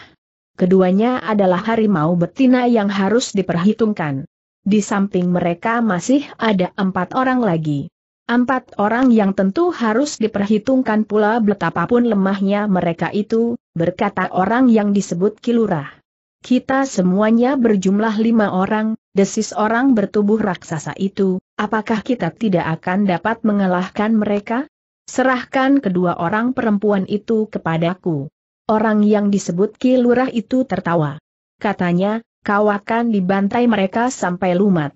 Sudah aku katakan, Kedua perempuan itu adalah macan betina yang garang. Yang seorang adalah anak dan sekaligus murid Ki Gede menoreh dengan pedang rangkapnya, yang seorang adalah murid saudara seperguruan Patih Mantaun dari Jepang yang disebut orang bernyawa rangkap dengan senjata yang mengerikan, tongkat baja putih berkepala tengkorak berwarna kuning. Orang bertubuh raksasa itu mengerutkan keningnya. Orang yang disebutnya Ki Lurah itu adalah orang yang luar biasa. Tetapi ia masih membuat perhitungan yang cermat terhadap lawan-lawan yang kurang meyakinkan itu. Mungkin aku dapat bertempur melawan dua orang di antara mereka, berkata orang yang disebut Ki Lurah itu. Tetapi satu di antara kedua perempuan itu akan dapat membunuh dua orang di antara kita. Selebihnya, empat orang yang lain akan melubangi perut kalian berdua yang lain. Orang itu tidak berbicara lagi. Kilurah itu tentu mempunyai pertimbangan yang mapan sehingga ia harus memperhitungkan segalanya dari berbagai segi pandangan. Biarlah mereka lewat, berkata orang yang disebut Kilurah itu, tetapi kita akan menunggu mereka kembali. Lawan kita tentu sudah berkurang. Kita akan membunuh mereka yang sedang dalam perjalanan kembali ke sangkal putung itu. Kawan-kawannya hanya mengangguk-angguk saja. Mereka sudah sampai ke tepian. Marilah, kita tinggalkan tempat ini. Jika mereka mencurigai kita dan bertindak lebih dahulu, kita akan mengalami kesulitan, berkata orang yang disebut Kilurah itu. Ternyata kehma orang itu pun kemudian meninggalkan tepian memasuki padang perdu menyusup. Di balik gerumbul-gerumbul menuju ke padukuhan terdekat, yang hanya berjarak beberapa puluh langkah saja. Swandaru dan Pandanwangi melihat kelima orang itu pergi. Prastawa dan Sekar Mirah pun diberitahukannya juga. Agaknya kelima orang itu tidak akan bertindak atas mereka. Mereka agaknya hanya mengawasi kita saja, desis Sekar Mirah. Mungkin mereka menunggu di tempat lain. Atau mereka membuat perhitungan tertentu, desis Wandaru, yang penting kita harus berhati-hati. Orang-orang dalam kelompok kecil itu pun segera turun dari rakit beserta kuda-kuda mereka setelah membayar upah. Menyeberang, maka mereka pun segera melanjutkan perjalanan. Yang kemudian berkuda di paling depan adalah Prastawa. Ia merasa bahwa ia berkewajiban untuk merintis jalan bagi tamu-tamunya, karena mereka sudah berada di telatah tanah perdikan menoreh. Namun demikian, sekelompok orang-orang berkuda itu tidak kehilangan kewaspadaan. Bahaya dapat menyergap di mana-mana juga di tanah perdikan menoreh yang biasanya diputi oleh suasana yang tenang. Tetapi ternyata mereka tidak mengalami gangguan apa pun juga. Mereka melintasi bulak-bulak panjang dengan kecepatan yang tidak terlalu tinggi. Namun tidak seorang pun yang datang mengganggu, atau bahkan mencegah perjalanan mereka. Pandan Wangi menjadi gelisah ketika mereka mendekati induk padukuhan dari tanah perdikan menoreh. Rupa-rupanya ia memasuki daerah kenangan yang sudah lama sekali ditinggalkannya. Dengan demikian, di luar sadarnya, maka kudanya telah berlari semakin cepat. Rasa-rasanya ingin sekali ia segera datang menghadap ayahnya. Namun akhirnya sekelompok orang-orang berkuda itu sampai juga ke rumah kepala tanah perdikan menoreh. Betapa debar jantung Pandan Wangi terasa semakin cepat. Hampir tidak sabar ia mendahului Prastawa memasuki regol dan kemudian meloncat turun di halaman. Demikian ia menambatkan kudanya, maka ia pun segera berlari ke pendapa. Dalam pada itu, seorang pengawal telah memberitahukan kehadiran Prastawa bersama beberapa orang dari Sangkal Putung, termasuk Pandan Wangi. Karena itulah maka ia pun kemudian tergesa-gesa menyambut mereka ke pendapa. Demikian Ki Gede menoreh membuka pintu peringgitan, Pandan Wangi bergeser mendekat. Sejenak diamatinya orang yang berdiri di pintu. Dilihatnya wajah ayahnya yang nampaknya demikian cepat menjadi tua, meskipun tubuhnya masih nampak tegap dan segar. Ayah, Pandan Wangi pun kemudian berlari memeluk ayahnya. Seperti seorang ayah yang menyambut anaknya datang dari rantau maka Ki Gede menoreh pun mendekap kepala anaknya. Sambil membelai rambut pandan wangi ia berkata, Selamat datang anakku. Marilah, duduklah bersama suamimu dan adikmu. Terasa wajah pandan wangi menjadi basah. Ia pun kemudian melepaskan pelukannya. Duduklah, sekali lagi ayahnya mempersilahkan. Pandan wangi pun kemudian melangkah kembali. Ke tengah-tengah pendapa. Swandaru dan Sekar Merah yang masih berdiri pun mengangguk hormat pula kepada Ki Gede menoreh. Marilah ger, Ki Gede berkata sambil tersenyum, duduklah. Ketiganya pun kemudian duduk di atas tikar pandan yang terbentang di pendapa. Sementara Prastawa bersama pengawalnya langsung membawa kuda mereka ke belakang. Namun dalam pada itu, Pandan Wangi melihat sesuatu yang mendebarkan pada ayahnya. Dengan ragu-ragu ia bertanya, apakah kaki ayah sakit? Ki Argapati yang kemudian duduk pula bersama mereka tersenyum. Sambil memijit kakinya ia berkata, keadaan kakiku agaknya memang kurang baik pada akhir-akhir ini. Kadang-kadang kakiku terasa sakit tanpa sebab. Untuk lima sampai enam hari rasa sakit itu bagaikan mencengkam. Namun kemudian perasaan sakit itu hilang dengan sendirinya. Tetapi pada saat lain, rasa sakit itu kambuh untuk lima enam hari pula. Wajah Pandan Wangi menegang.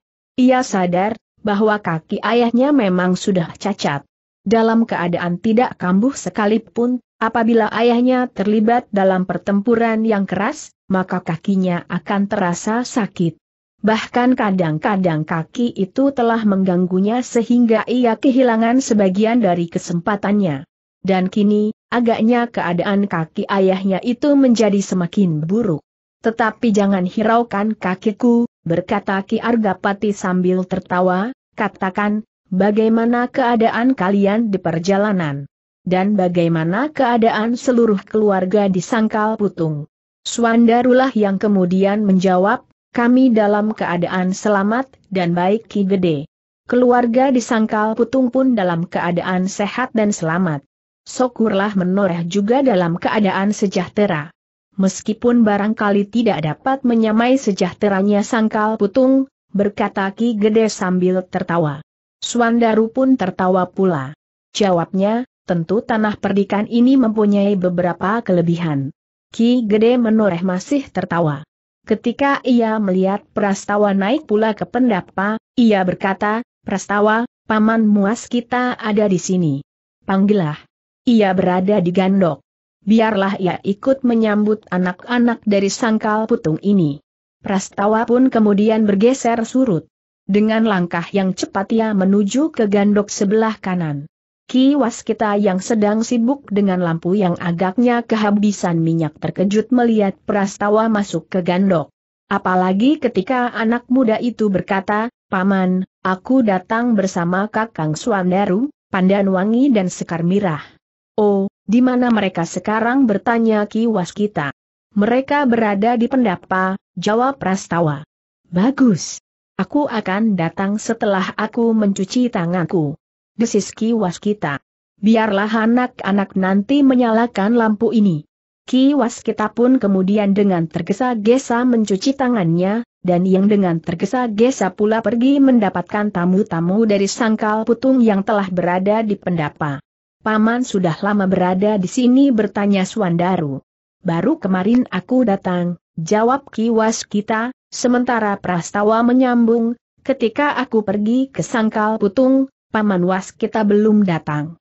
Rasa-rasanya ada yang menggerakkan aku datang kemari, berkata Ki Waskita kemudian, ternyata aku akan bertemu dengan anak-anak muda sangkal putung. Suatu kebetulan Paman, atau Paman memang sudah melihat bahwa kami akan datang hari ini, desis Pandan Wangi. Ah, tentu tidak, jawab Ki Waskita sambil tersenyum. Tetapi agaknya ada juga sentuhan di hati ini, sehingga aku telah memerlukan datang kemari. Tentu Paman sudah melihat satu isyarat, bahwa kami bertiga akan datang hari ini dari Sangkal Putung, berkata Pandan Wangi pula, atau barangkali ada isyarat lain yang harus Paman sampaikan kepada kami, sehingga Paman telah menunggu kami di sini. Kau aneh-aneh saja Pandan Wangi. Kau kira aku melihat apa saja yang bakal terjadi? Jika demikian, Alangkah senangnya, karena aku tentu sudah melihat, kapan aku akan diundang oleh Ki Demang Sangkal Putung dalam peralatan perkawinan anak gadisnya, jawab Ki Waskita sambil tertawa. Yang lain pun tertawa pula. Tetapi Sekar Mirah telah menundukkan kepalanya dalam-dalam. Pipinya terasa menjadi hangat dan jantungnya menjadi semakin berdebar-debar. Namun akhirnya ia pun tersenyum pula. Tanggapan yang lain nampak pada wajah Prastawa. Tetapi ia berusaha menghapus segala kesan di wajahnya. Ternyata kehadiran Pandan Wangi di tanah perdikan menoreh itu membuat Ki Argapati menjadi gembira. Rasa-rasanya hidupnya yang terasa kering itu menjadi segar. Kehadiran anak gadisnya seakan-akan titik air yang menyiram tanah perdikan menoreh yang kering di musim kemarau. Atas permintaan Ki Gede Monoreh, maka Pandan Wangi, Suandaru dan Sekar Mirah akan berada di tanah perdikan menoreh untuk beberapa hari. Rasa-rasanya Ki Gede menoreh masih belum dapat melepaskan rindunya kepada anak dan menantunya. Selama di tanah perdikan menoreh, Pandan Wangi mempergunakan waktunya untuk menjelajahi seluruh tanah perdikan seperti ketika ia masih tinggal bersama ayahnya. Ditemuinya kawan-kawannya bermain. Rasa-rasanya yang pernah dikenal dan hanya tinggal di dalam kenangan itu, telah terulang kembali. Kau masih tetap seperti seorang gadis, desis seorang kawannya yang sebaya. Ah, tentu tidak, sahut Pandan Wangi. Aku sudah mempunyai seorang anak laki-laki, berkata kawannya. Pandan Wangi mengerutkan keningnya. Ketika kemudian kawannya mengambil anaknya dari ruang dalam, seorang anak laki-laki yang sangat manis, terasa hatinya telah tersentuh. Marilah, biarlah aku mendukungnya, minta Pandan Wangi. Ah, kau hanya pantas bermain pedang, jawab kawannya sambil tersenyum. Pandan Wangi tersenyum pula. Namun betapa hatinya telah bergejolak. Ia sadar, bahwa kawannya hanya ingin bergurau. Tetapi gurau itu benar-benar telah terasa menghunjam di pusat jantung. Betapa ia mampu menguasai ilmu pedang rangkap, namun ilmu itu justru hanya melibatkan ke dalam pertentangan yang satu ke pertentangan yang lain. Tiba-tiba terbersit perasaan iri di hatinya melihat kawannya dengan anak laki-lakinya yang manis. Ketika ia kemudian mendukung anak itu di tangannya, maka tiba-tiba saja ia telah menciuminya. Tanpa sesadarnya, pipi anak itu pun menjadi basah. Tetapi Pandan Wangi masih mampu bertahan. Kawannya sama sekali tidak menyangka bahwa pipi anaknya telah dibasahi oleh titik air dari mata Pandan Wangi yang kemudian telah menyelubungi dengan sikap. Ia berjalan hilir mudik sambil mengayun-ayun anak itu di tangannya. Meskipun sekali-sekali ia mengusap matanya, namun kawannya menyangka bahwa justru anaknya lah yang telah mengotori wajah Pandan Wangi. Marilah, biarlah aku gendong anak nakal itu, berkata kawannya. Biarlah. Beri aku kesempatan sebentar lagi, jawab Pandan Wangi sambil membelakangi kawannya tetapi ia masih mengayun anak itu yang sekali-kali justru tertawa gembira. Ketika kemudian Pandan Wangi kembali ke rumahnya, kesan tentang seorang anak laki-laki yang manis itu masih terasa mencengkamnya. Bagaimanapun juga ia adalah seorang perempuan.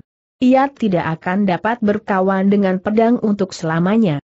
Pada suatu saat, ia akan merindukan seorang anak yang tidur di sampingnya seorang anak yang akan dapat menyambung darah keturunannya.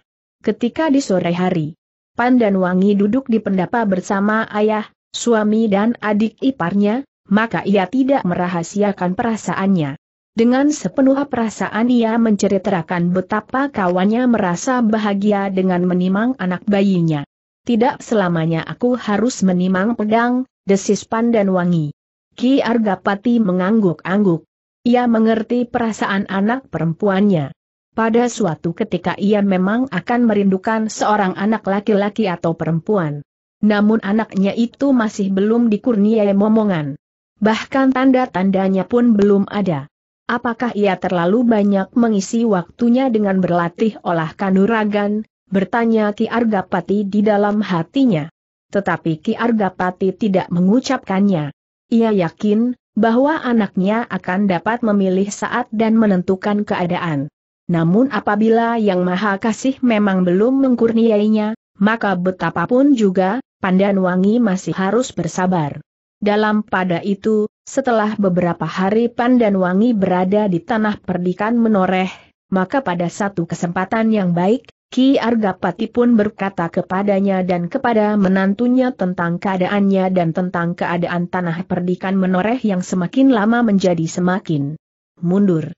Persoalannya tidak terlalu tergesa-gesa untuk dipecahkan, berkata Ki Argapati, tetapi sudah pasti, bahwa kodrat seseorang akan sampai juga pada batasnya. Aku menjadi semakin tua. Keadaan tubuhku menjadi semakin lemah. Ternyata bahwa cacat kakiku menjadi semakin parah. Pada mulanya, kakiku tidak pernah kambuh jika aku tidak terlibat dalam pengerahan tenaga yang berlebih-lebihan. Tetapi kini ternyata rasa sakit itu datang tanpa sebab. Aku tidak menyesalinya karena hal itu adalah akibat yang wajar dari tingkah lakuku sendiri. Namun, Sudah sewajarnya pula bahwa sejak saat ini aku mulai berpikir tentang masa datang bagi tanah perdikan ini. Pada saatnya aku akan tidak mampu lagi melakukan kewajibanku. Swandaru mendengarkan keterangan Ki Gede Menoreh itu dengan saksama. Ia mengerti dan menyadari sepenuhnya perasaan mertuanya itu. Ia pun tidak dapat ingkar, bahwa hari depan tanah perdikan menoreh akan menjadi satu persoalan yang harus dipecahkan. Anak Ki Argapati hanya seorang, Pandanwangi. Dan Pandanwangi telah menjadi istrinya. Apakah aku akan meninggalkan sangkal putung dan kemudian tinggal di tanah perdikan menoreh? Pertanyaan itu tumbuh di hati Swandaru. Namun dari dasar hatinya yang dalam, ia tidak akan sampai hati meninggalkan kademangan yang telah dibinanya. Ia adalah satu-satunya anak laki-laki. Saudaranya satu-satunya adalah seorang perempuan. Meskipun Sekar Mirah kelak akan kawin pula, dan bakal suaminya pun telah dikenalnya dengan baik, tetapi, apakah ia akan dapat berpisah dengan sangkal putung? Di sini aku hanya seorang menantu. Jika aku tinggal di sini, maka aku adalah seorang laki-laki yang menumpang pada istrinya, berkata Suandaru di dalam hatinya, sebagaimana sifatnya yang selalu dipengaruhi oleh harga diri. Tetapi sebenarnya lah bahwa Swandaru akan sangat berkeberatan untuk berpisah dengan tanah kademangan yang sudah lama dibinanya.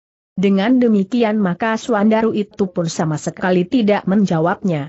Ia masih dicengkam oleh kekaburan sikap menanggapi masalah yang dilontarkan oleh mertuanya.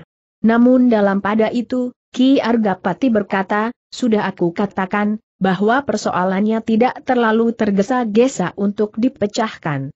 Karena itu maka aku tidak ingin mendengar jawabanmu sekarang.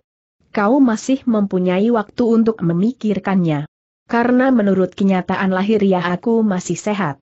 Hanya kadang-kadang saja kakiku terasa sakit. Namun dalam waktu pendek akan segera sembuh kembali. Namun segalanya memang berada di tangan yang maha kuasa. Swandaru menarik nafas dalam-dalam. Kemudian jawabnya, baiklah Ki Gede. Aku akan memikirkannya. Persoalan itu adalah persoalan yang wajar, dan yang memang harus mendapat perhatian. Pada saatnya. Masalah itu memang harus mendapat jawaban, karena tanah perdikan. Menoreh, maupun kademangan sangkal putung tidak boleh berhenti tanpa berkelanjutan. Bagus sekali, sahut Ki Gede, kau benar-benar sudah berpikir dengan matang. Aku sangat berbesar hati. Pemikiran yang sungguh-sungguh memang akan menghasilkan keputusan yang mapan. Apalagi masalahnya adalah masalah yang menentukan bagi satu daerah yang mempunyai masalahnya masing-masing, dan satu daerah yang menjadi wadah dari berbagai bentuk kehidupan dan persoalan. Swandaru mengangguk-angguk. Tetapi ia tidak menjawab lagi. Karena itu, maka Ki Gede pun berpesan kepada anak perempuannya, cobalah membantu suamimu. Apa yang baik menurut pendapatmu, sehingga pada saatnya suamimu akan dapat mengambil satu keputusan yang baik, mapan dan menguntungkan segala pihak. Aku akan mencoba ayah, berkata Pandan Wangi.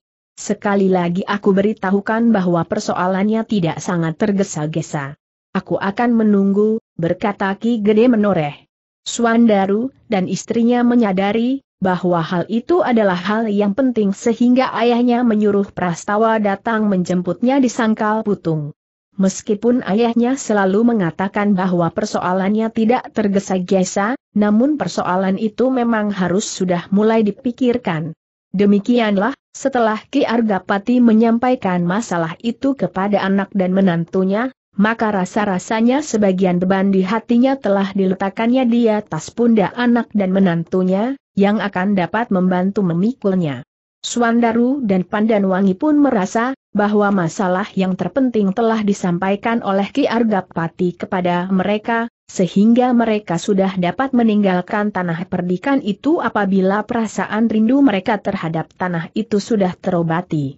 Karena itu, maka di hari berikutnya, Rasa-rasanya Pandan Wangi hanya sekedar menuntaskan rasa rindunya kepada tanah perdikan tempat ia dilahirkan. Ia mengunjungi kawan-kawannya dan tempat-tempat yang pernah memberikan kesan tertentu. Kadang-kadang ia pergi bersama suaminya, namun kadang-kadang ia pergi bersama Sekar Mirah. Namun dalam pada itu, agaknya Sekar Mirah kadang-kadang menentukan acaranya sendiri. Di luar pengetahuan Suandaru dan Pandanwangi, kadang-kadang Sekar Mirah telah menentukan untuk melihat sesuatu yang menarik hatinya bersama Prastawa. Bahkan Prastawa dengan sengaja telah mengajak Sekar Mirah ke tempat-tempat yang asing bagi gadis sangkal putung itu. Ada semacam perasaan kurang senang pada Suandaru melihat tingkah adiknya. Namun ia pun merasa segan untuk menegurnya. Jika istrinya salah paham, seolah-olah ia tidak percaya kepada adik sepupunya, maka persoalannya akan bergeser menjadi persoalannya dengan istrinya. Karena itu, maka Suandaru hanya dapat menahan perasaannya itu di dalam dadanya.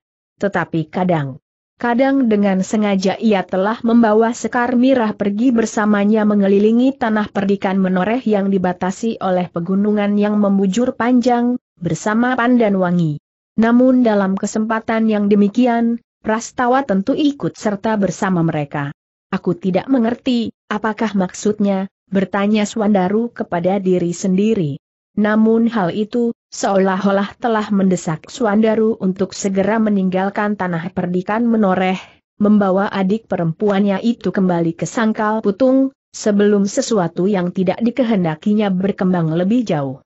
Prastawa memang mempunyai sifat dan watak yang lebih menarik dari Kakang Agung Sedayu, berkata Suandaru di dalam hatinya, anak ini nampak gembira, terbuka dan sedikit sombong. Tetapi bagi seorang perempuan sifat yang demikian nampaknya memang lebih menarik. Tanpa menimbulkan kesan yang kurang baik pada Pandan Wangi, maka Suandaru telah bertanya kepada istrinya, apakah mereka sudah cukup lama berada di tanah perdikan menoreh. Jika keadaan Sangkal Putung tidak sedang dibayangi oleh peristiwa yang terjadi di Jati Anom, maka aku kerasan tinggal di sini untuk waktu yang lebih lama lagi, berkata Suandaru. Pandan Wangi menyadari, bahwa Ki Demang Sangkal Putung tentu sudah gelisah menunggu kedatangan mereka kembali. Bahkan jika terjadi sesuatu, maka semua pihak tentu akan menyesalinya. Karena itu, maka Pandan Wangi pun sependapat, bahwa mereka akan segera kembali ke Kademangan Sangkal Putung setelah mereka berada di tanah perdikan menoreh beberapa saat lamanya. Kenapa kalian demikian tergesa-gesa kembali bertanya Ki Gede menoreh? Keadaan sangkal putung agak menggelisahkan akhir-akhir ini ayah, Pandan Wangi yang menjawab, sementara kita bertiga di sini, maka kemungkinan yang tidak kita kehendaki mungkin sekali terjadi di sangkal putung. Ki Gede menoreh mengangguk-angguk. Ia sudah mendengar cerita anak-anak sangkal putung itu, tentang apa yang telah terjadi di Jati Anom. Karena itu, maka ia pun tidak ingin menahannya lebih lama lagi. Baiklah, berkata Ki Argapati, sementara kau berada di sangkal putung, kau akan sempat memikirkan persoalan yang aku katakan. Tidak usah dengan hati yang risau, karena persoalannya sekali lagi aku katakan tidak terlalu tergesa-gesa. Demikianlah maka Suandaru dan Pandanwangi pun memutuskan, di keesokan harinya, mereka akan kembali ke Sangkal Putung, setelah untuk beberapa lama mereka tinggal di tanah perdikan menoreh. Dalam pada itu, di bagian yang agak terpisah dari daerah yang ramai, beberapa orang menunggu dengan tidak sabar lagi, seolah-olah Suandaru telah bertahun-tahun berada di tanah perdikan menoreh. Salah seorang dari mereka telah membujuk seseorang agar orang itu memberitahukan kepadanya, kapan Suandaru akan kembali. Untuk apa bertanya orang itu ketika seseorang menemuinya di Pategalan dan menyatakan keinginannya untuk mengetahui saat Suandaru kembali ke Jati Anom. Tidak apa-apa, jawab orang itu, aku hanya ingin mengejutkannya. Aku adalah kawannya yang sudah lama tidak bertemu. Orang itu termangu-mangu. Namun ia pun kemudian tertegun melihat beberapa keping uang di tangan orang yang membujuknya itu. Kau akan mendapat uang ini jika kau bersedia membantu aku. Kau tidak usah berbuat apa-apa. Kau hanya mengatakan kepadaku jika kau mengetahui atau mendengar dari siapa pun juga, kapan Suandaru akan kembali, bujuk orang itu pula. Dan kau tidak akan bertanggung jawab tentang apa pun juga. rasa-rasanya beberapa keping uang itu telah menggelitiknya pula. Karena itu, maka katanya, aku akan mengatakannya, jika aku mengetahuinya. Tetapi di mana aku dapat bertemu dengan kau lagi? Aku akan menjumpaimu di pategalan ini setiap kali. Demikianlah, seperti yang dikatakan, maka orang itu telah menemuinya pula di pategalan itu di hari berikutnya. Ternyata bahwa orang yang berada di pategalannya itu pun sudah mendengar dari orang-orang di sekitar rumah Ki Gede, bahwa Swandaru akan kembali pada saat matahari terbit di hari berikutnya. Dari mana mereka mengetahuinya? Bertanya orang yang memujuknya itu. Mereka mendengar dari para pembantu di rumah Ki Gede. Anak Demang Sangkal Putung, bersama istri dan adiknya akan kembali besok. Mereka sudah mengemasi barang-barang yang akan dibawanya, jawab orang itu. Orang yang bertanya tentang Suandaru itu tertawa. Katanya, omong kosong mereka tentu belum akan mengemasi pakaian atau barang-barangnya yang lain sejak orang-orang itu mendengar berita itu.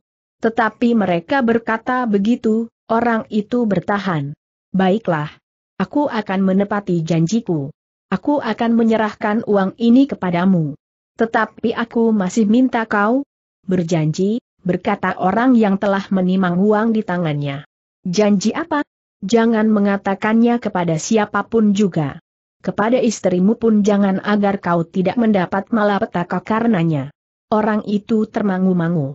Tetapi ia pun menerima uang yang diberikan kepadanya. Uang beberapa keping itu tentu akan sangat berguna baginya. Aku hanya berjanji untuk tidak mengatakannya kepada siapa pun juga, berkata orang itu di dalam hatinya, sementara keberangkatan anak sangkal putung itu telah diketahui oleh banyak orang, terutama di padukuhan induk.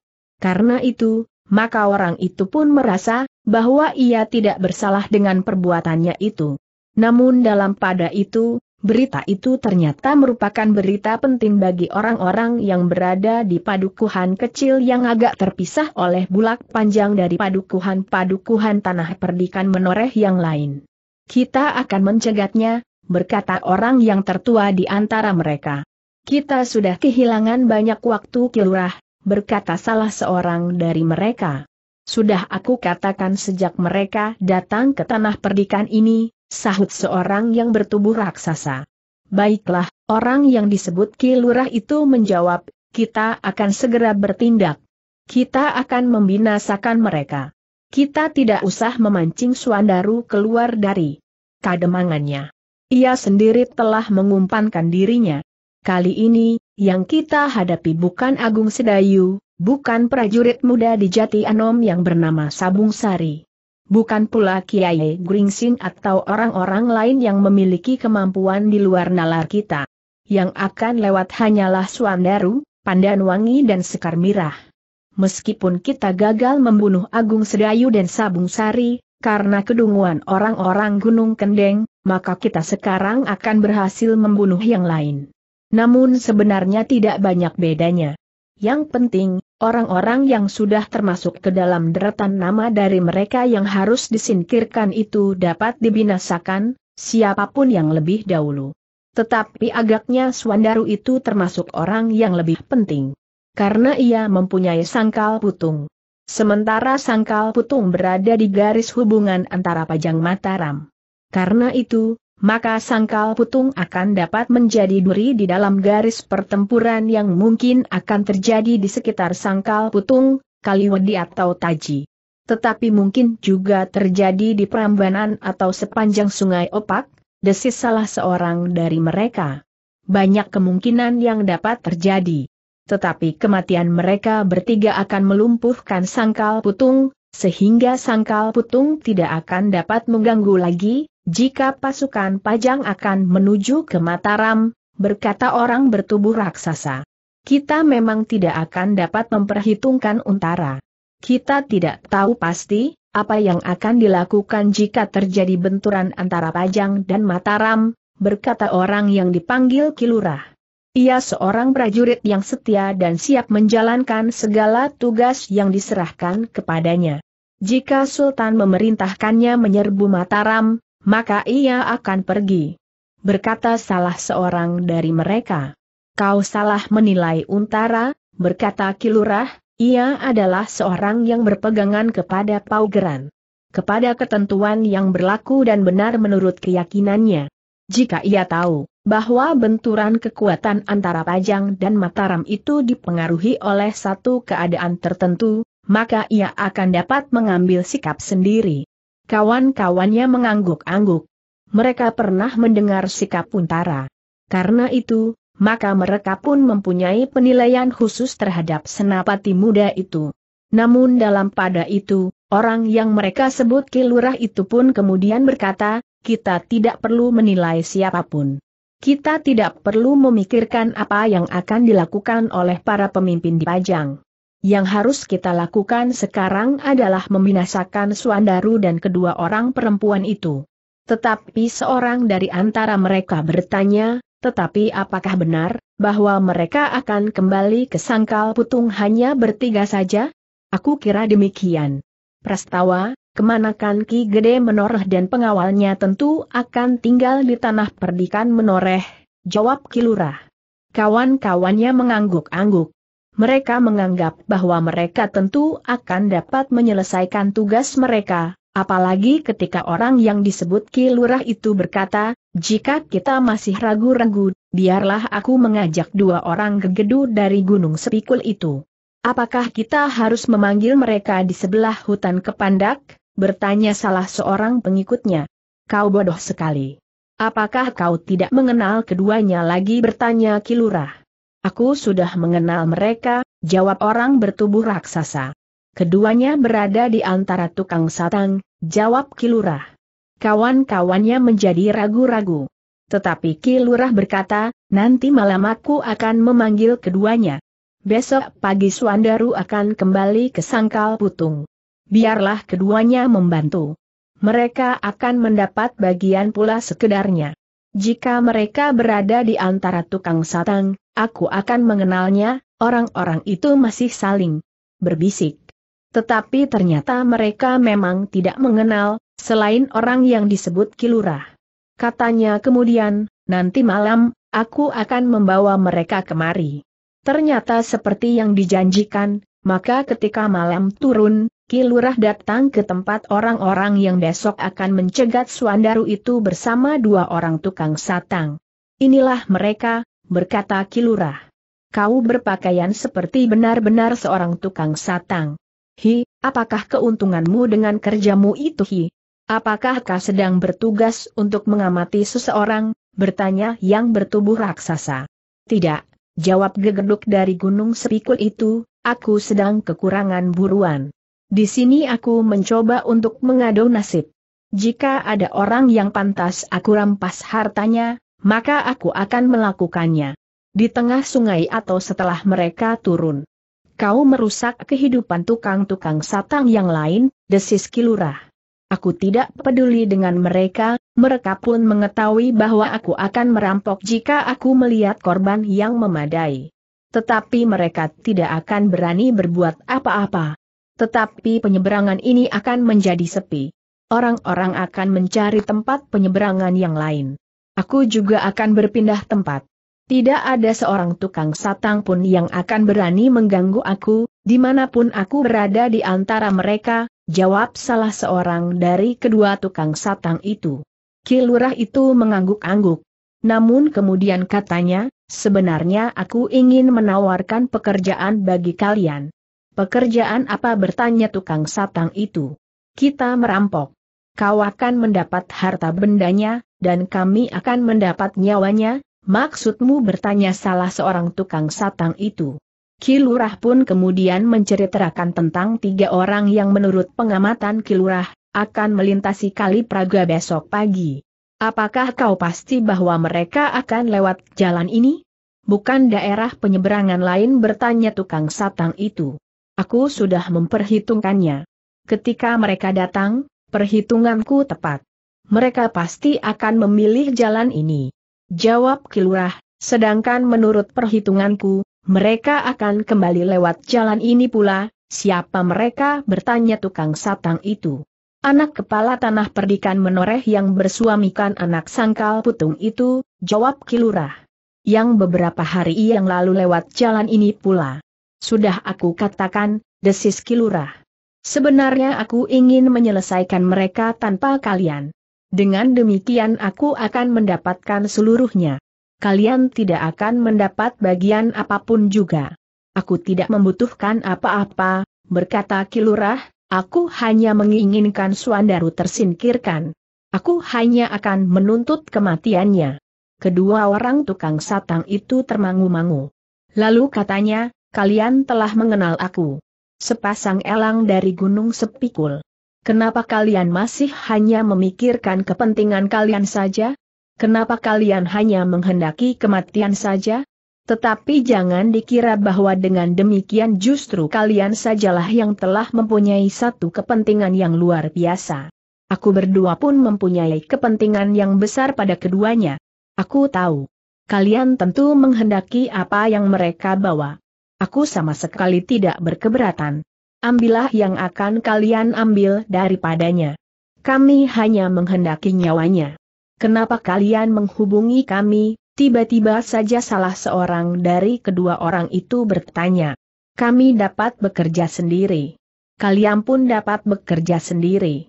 Tetapi kita mungkin akan gagal karena yang akan lewat adalah murid orang bercambuk itu. Agar kita pasti, maka Sebaiknya kita akan bekerja bersama. Terutama bagi kalian berdua. Kalian berdua sama sekali tidak akan berdaya menghadapi ketiga orang itu, berkata Kilurah. Kedua orang dari Gunung Sepikul itu termangu-mangu. Namun mereka pun ternyata memang lebih senang bekerja bersama dengan tujuan yang berbeda daripada bekerja sendiri-sendiri, tetapi dibayangi oleh kegagalan. Demikianlah maka kedua orang dari Gunung Sepikul, di sebelah alas kepandak itu akhirnya menyatakan diri untuk bersama-sama mencegat ketiga orang dari sangkal putung itu. Kilurah ingin meyakinkan kematian ketiga orang itu, sementara kedua orang itu akan mendapat apa saja yang dibawa oleh ketiga orang dari sangkal putung itu. Demikianlah maka mereka telah berjanji untuk bekerja bersama-sama. Karena sebenarnya lah mereka mengakui di dalam hati, bahwa masing-masing dari mereka tidak akan dapat berbuat banyak atas ketiga orang dari sangkal putung itu. Meskipun kedua orang dari Gunung Sepikul itu belum mengenal dengan baik anak demang sangkal putung itu, tetapi ia percaya akan keterangan orang yang disebut Kilurah itu.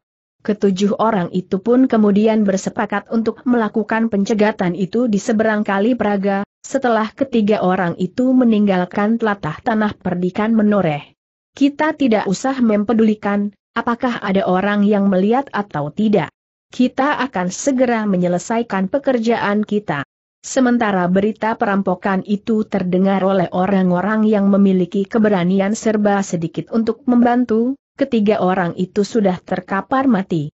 Kita telah lenyap sementara kita dapat menikmati hasil yang kita inginkan, berkata salah seorang dari Gunung Sepikul itu. Kehadiran orang lain hanya akan menambah korban. Desis Kilurah, kita akan mencegat mereka di padang ilalang, dekat tepian. Kita dapat mendesaknya menjauhi jalan yang memang tidak terlalu ramai itu. Memang lebih baik jika tidak ada orang yang melihat perkelahian di antara kita dengan orang-orang itu. Tetapi jika ada orang yang ingin mencampuri persoalan ini, maka mereka pun akan mati pula. Dan aku akan mendapat tambahan rampasan. Mungkin sarung keris dari emas, atau timang berteteskan berlian. Desis salah seorang dari kedua orang gunung sepikul itu. Dalam pada itu, di tanah perdikan menoreh, Suandaru, Pandanwangi dan Sekar Mirah pun telah berkemas. Di pagi hari mereka akan berangkat meninggalkan tanah perdikan menoreh, kembali ke Sangkal Putung. Besok kami akan mengantar kalian sampai ke tepi Kali Progo, berkata Prastawa. Demikian jauh, sahut Swandaru. Tidak apa-apa. Bukankah kami terbiasa nganglang ke seluruh daerah tanah perdikan ini, berkata Prastawa. Swandaru tidak mencegahnya. Prastawa bersama beberapa orang pengawal akan mengantar mereka, sampai saatnya mereka menyeberang. Namun mereka sama sekali tidak memperhitungkan, bahwa di Sei berangkali Praga beberapa orang telah siap menunggu mereka. Tetapi yang juga tidak disangka-sangka oleh Swandaru, Pandanwangi dan Sekar Mirah adalah, bahwa ketika mereka duduk di pendapa di malam hari, menjelang keberangkatan mereka di keesokan harinya, maka Ki Waskita berkata, aku ingin melihat, bagaimana keadaan Agung Sedayu yang terluka parah itu. Jadi paman juga akan pergi ke Sangkal Putung Pandanwangi bertanya dengan serta-merta. Ya, aku juga akan pergi ke Sangkal Putung untuk selanjutnya pergi ke Jati Anom. Kepada pokan kecil itu, jawab Ki Waskita. Senang sekali, sahut Swandaru, ada kawan berbincang di perjalanan. Dengan demikian perjalanan kami akan terasa sangat pendek. Dengan demikian, maka Ki Waskita pun minta diri pula kepada Ki Gede Menoreh untuk di keesokan harinya pergi bersama-sama dengan anak Ki Demang Sangkal Putung itu setelah beberapa hari berada di tanah perdikan Menoreh. Rasa-rasanya ada perasaan rindu pula kepada Agung Sedayu yang sudah agak lama tidak dilihatnya.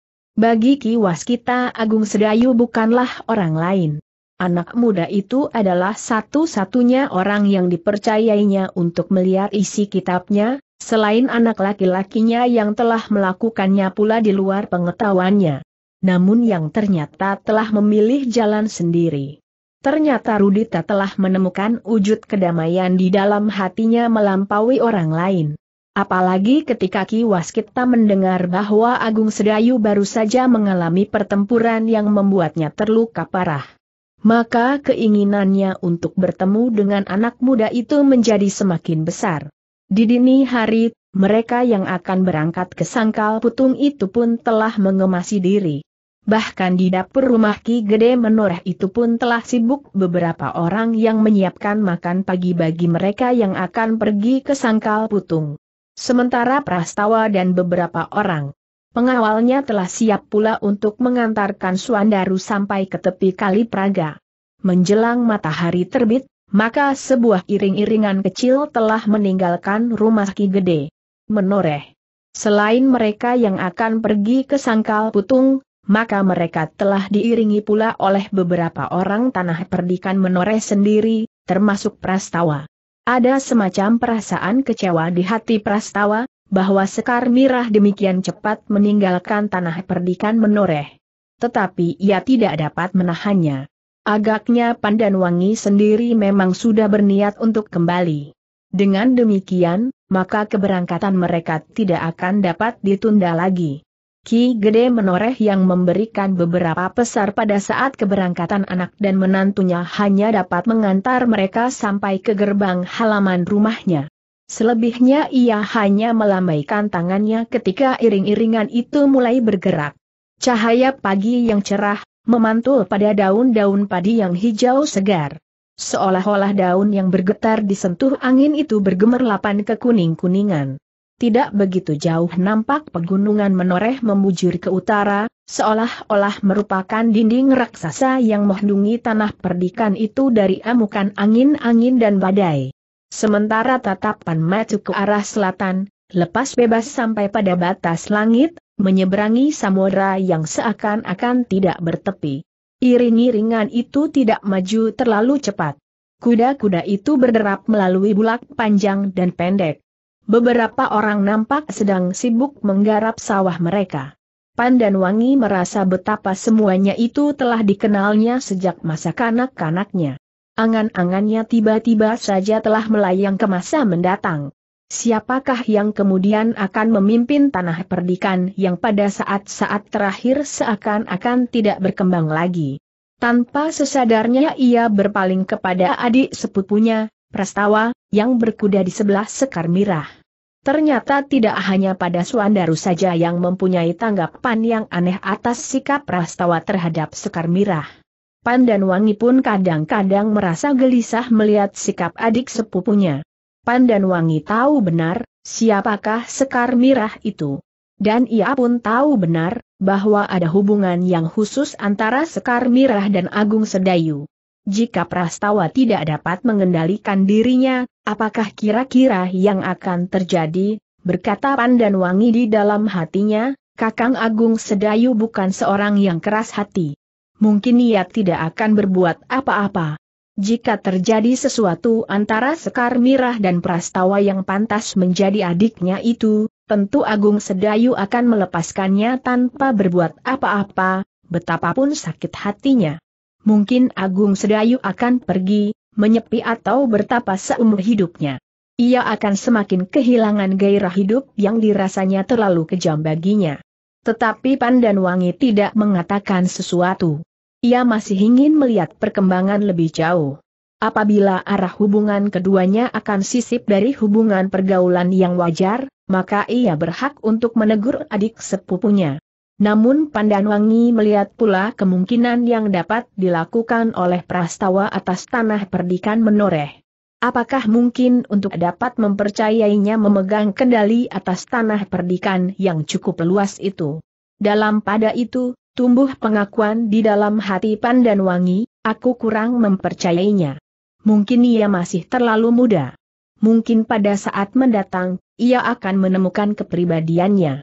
Namun aku masih menyangsikannya. Dalam pada itu, iring-iringan itu berjalan terus. Sekali-kali Pandan Wangi dan Suandaru berpaling. Jika mereka mendengar gurau yang segar antara Prastawa dan Sekar Mirah. Namun setiap kali dada mereka berdesir digores oleh kegelisahan hati. Akhirnya perjalanan itu pun sampai ke tepi kali Praga. Mereka memilih tempat menyeberang di penyeberangan yang mereka lewati di saat mereka berangkat ke tanah perdikan menoreh. Betapapun perasaan Prastawa dicengkam oleh kekecewaan, namun iring-iringan itu turun pula ke dalam rakit yang akan membawa mereka menyeberang. Pandan Wangi yang sudah berada di atas rakit, masih juga memberikan pesan kepada adik sepupunya, agar ia menjaga tanah perdikan menoreh sebaik-baiknya.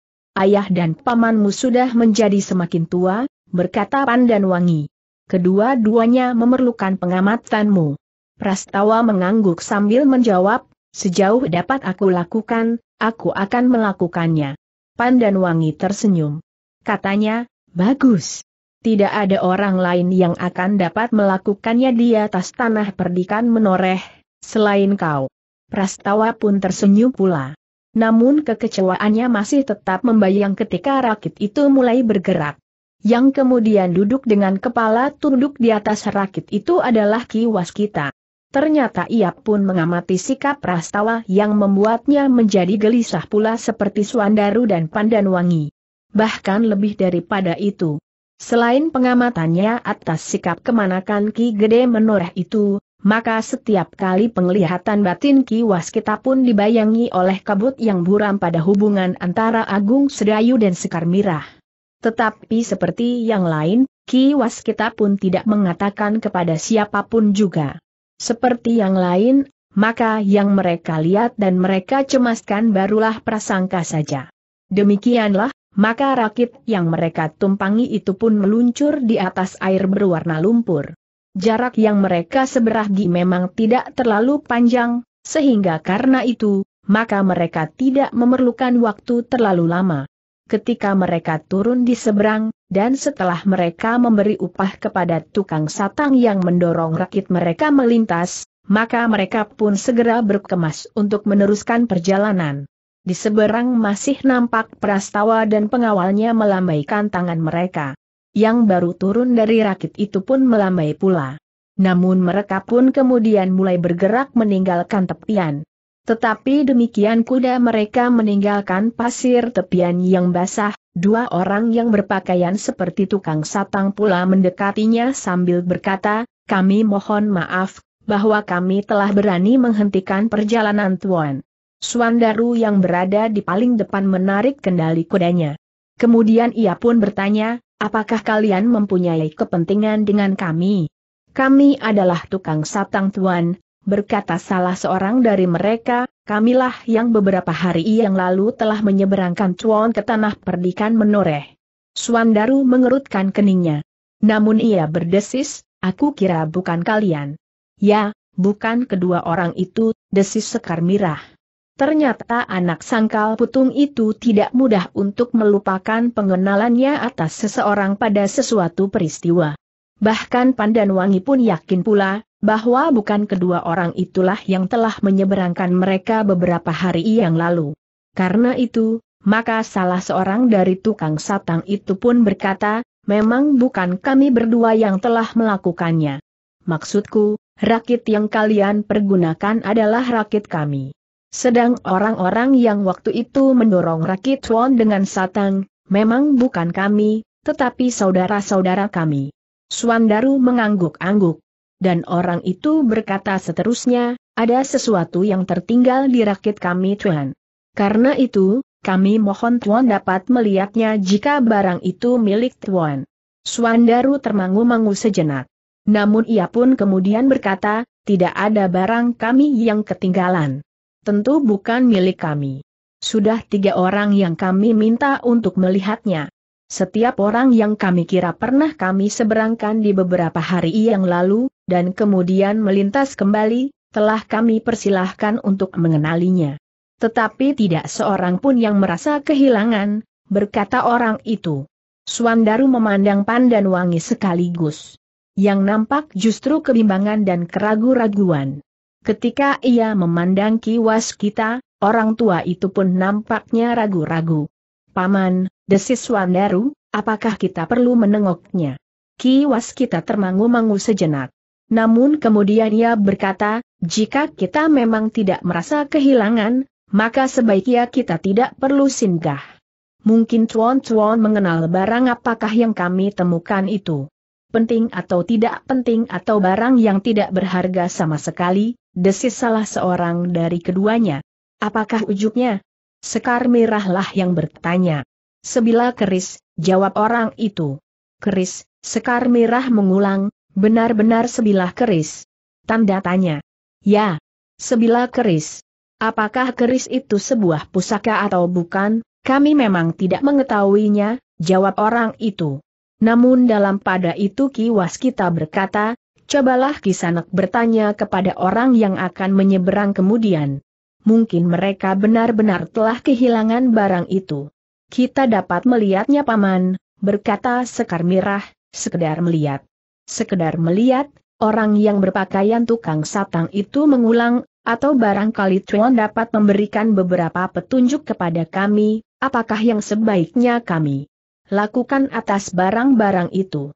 Menyerahkan kepada Ki Demang, atau kepada siapa? Kita akan melihat, sekedar melihat, karena kami memang tidak pernah merasa kehilangan desis Sekar Mirah. Suandaru tidak mencegahnya. Karena itu, maka mereka pun kemudian mengikuti kedua orang itu menuntas jalan sempit di antara batang-batang ilalang. Kita akan pergi ke mana bertanya Swandaru kepada kedua orang itu. Kami mempunyai sebuah gubuk kecil di balik pepohonan perdu itu. Tempat untuk sekedar beristirahat jika terik matahari membakar punggung, jawab orang itu Swandaru sama sekali tidak bercuriga. Karena itu, maka ia pun mengikut saja ke mana orang itu pergi. Dalam pada itu, lima orang yang lain telah menunggu. Dari balik sebuah gerumbul keempat orang itu mengintip Swandaru yang datang berkuda bersama tiga orang lainnya. Mereka berempat, desis orang yang dipanggil Kilurah. Yang seorang bukannya kawan mereka seperjalanan ketika mereka berangkat, desis yang lain. Persetaan orang tua itu. Tetapi nasibnya ternyata sangat buruk, karena kami harus membunuhnya sama sekali. Berkata Kilurah. Biar sajalah kehadirannya tentu tidak akan berpengaruh sama sekali, berkata seorang yang bertubuh tegap. Dalam pada itu, Suandaru yang berada di paling depan bertanya pula, mana gubuk muhi? Kedua orang itu pun justru berhenti. Kemudian mereka berpencar beberapa langkah sambil bersiap menghadapi segala kemungkinan. Yang seorang dari mereka kemudian berkata, itulah gubuk kami. Semua orang berpaling ke arah yang ditunjuk oleh orang itu. Tetapi mereka sama sekali tidak melihat sebuah gubuk pun. Yang mereka lihat adalah sebuah gerumbul perdu yang bergerak-gerak mencurigakan. Kiwas kita segera melihat, apa yang ada di belakang gerumbul itu. Ketajaman penglihatannya menangkap gerak yang tidak wajar dari dedaunan dan ranting-ranting perdu. Bahkan kemudian ia melihat ujung kaki yang mencuat di antara dedaunan dan batang-batang ilalang. Kita tidak usah bermain sembunyi-sembunyian, berkata Ki Waskita kemudian, silahkan tampil. Kami akan senang sekali berkenalan dengan kisanak semuanya. Kedua orang yang berpakaian seperti tukang satang itu mengerutkan keningnya.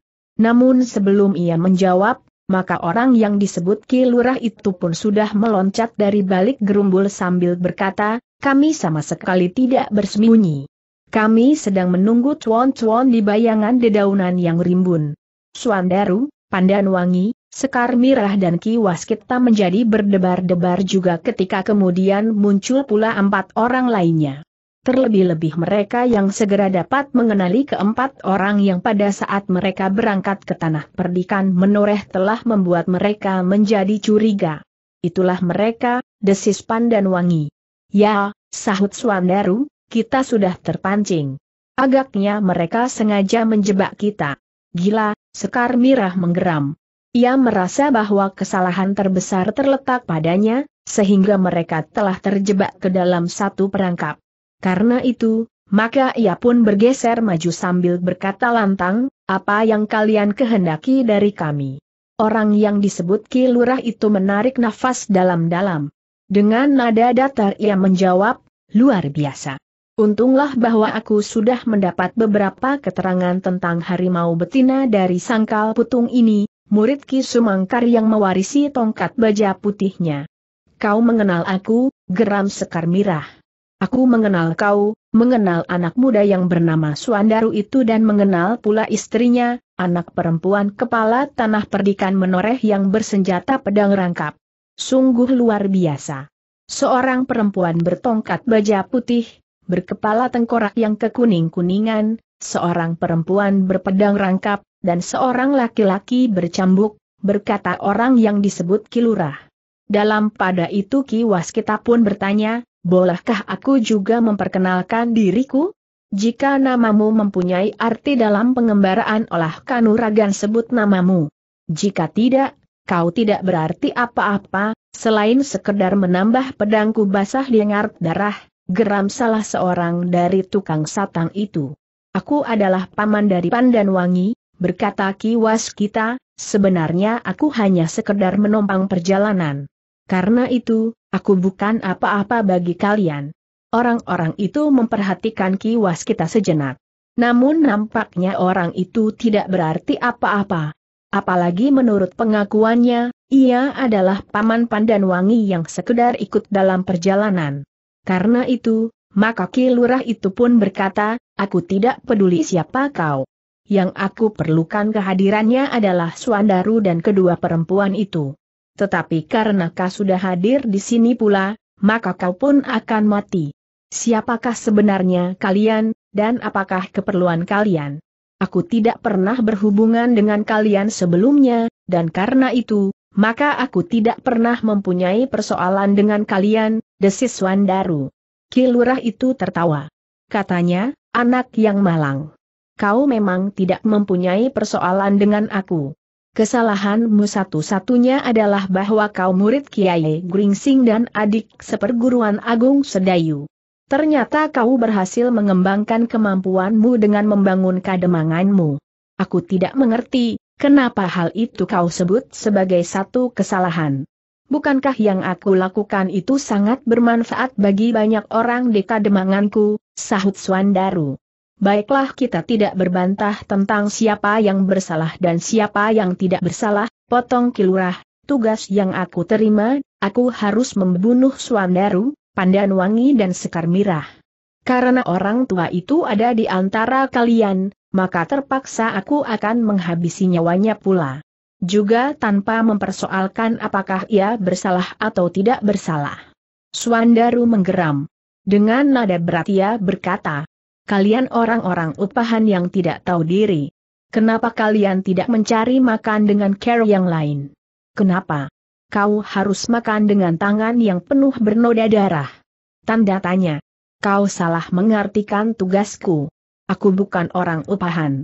Tetapi aku telah melakukan tugasku di atas cita-cita yang besar bagi tanah ini, jawab orang itu, karena itu, maka sebenarnya lah aku adalah seorang yang melakukan sesuatu atas dasar keyakinan.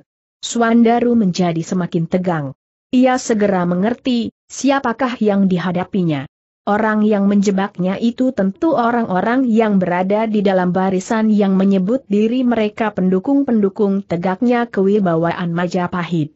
Karena itu, maka Suandaru tidak dapat menganggap persoalan yang dihadapinya itu sebagai persoalan yang tidak terarti. Orang-orang yang ditugaskan dalam rangka menegakkan kewibawaan Majapahit bukannya orang-orang kebanyakan. Menurut pengamatan Suandaru, Orang-orang yang selalu memburu Agung Sedayu ke mana pun ia pergi, adalah orang-orang yang berkeyakinan serupa. Mungkin mereka meminjam tangan orang lain. Orang-orang pesisir rendut, orang-orang gunung kendeng atau orang mana pun lagi tetapi kadang-kadang juga orang-orang yang berada di dalam lingkungan keprajuritan pajang sendiri.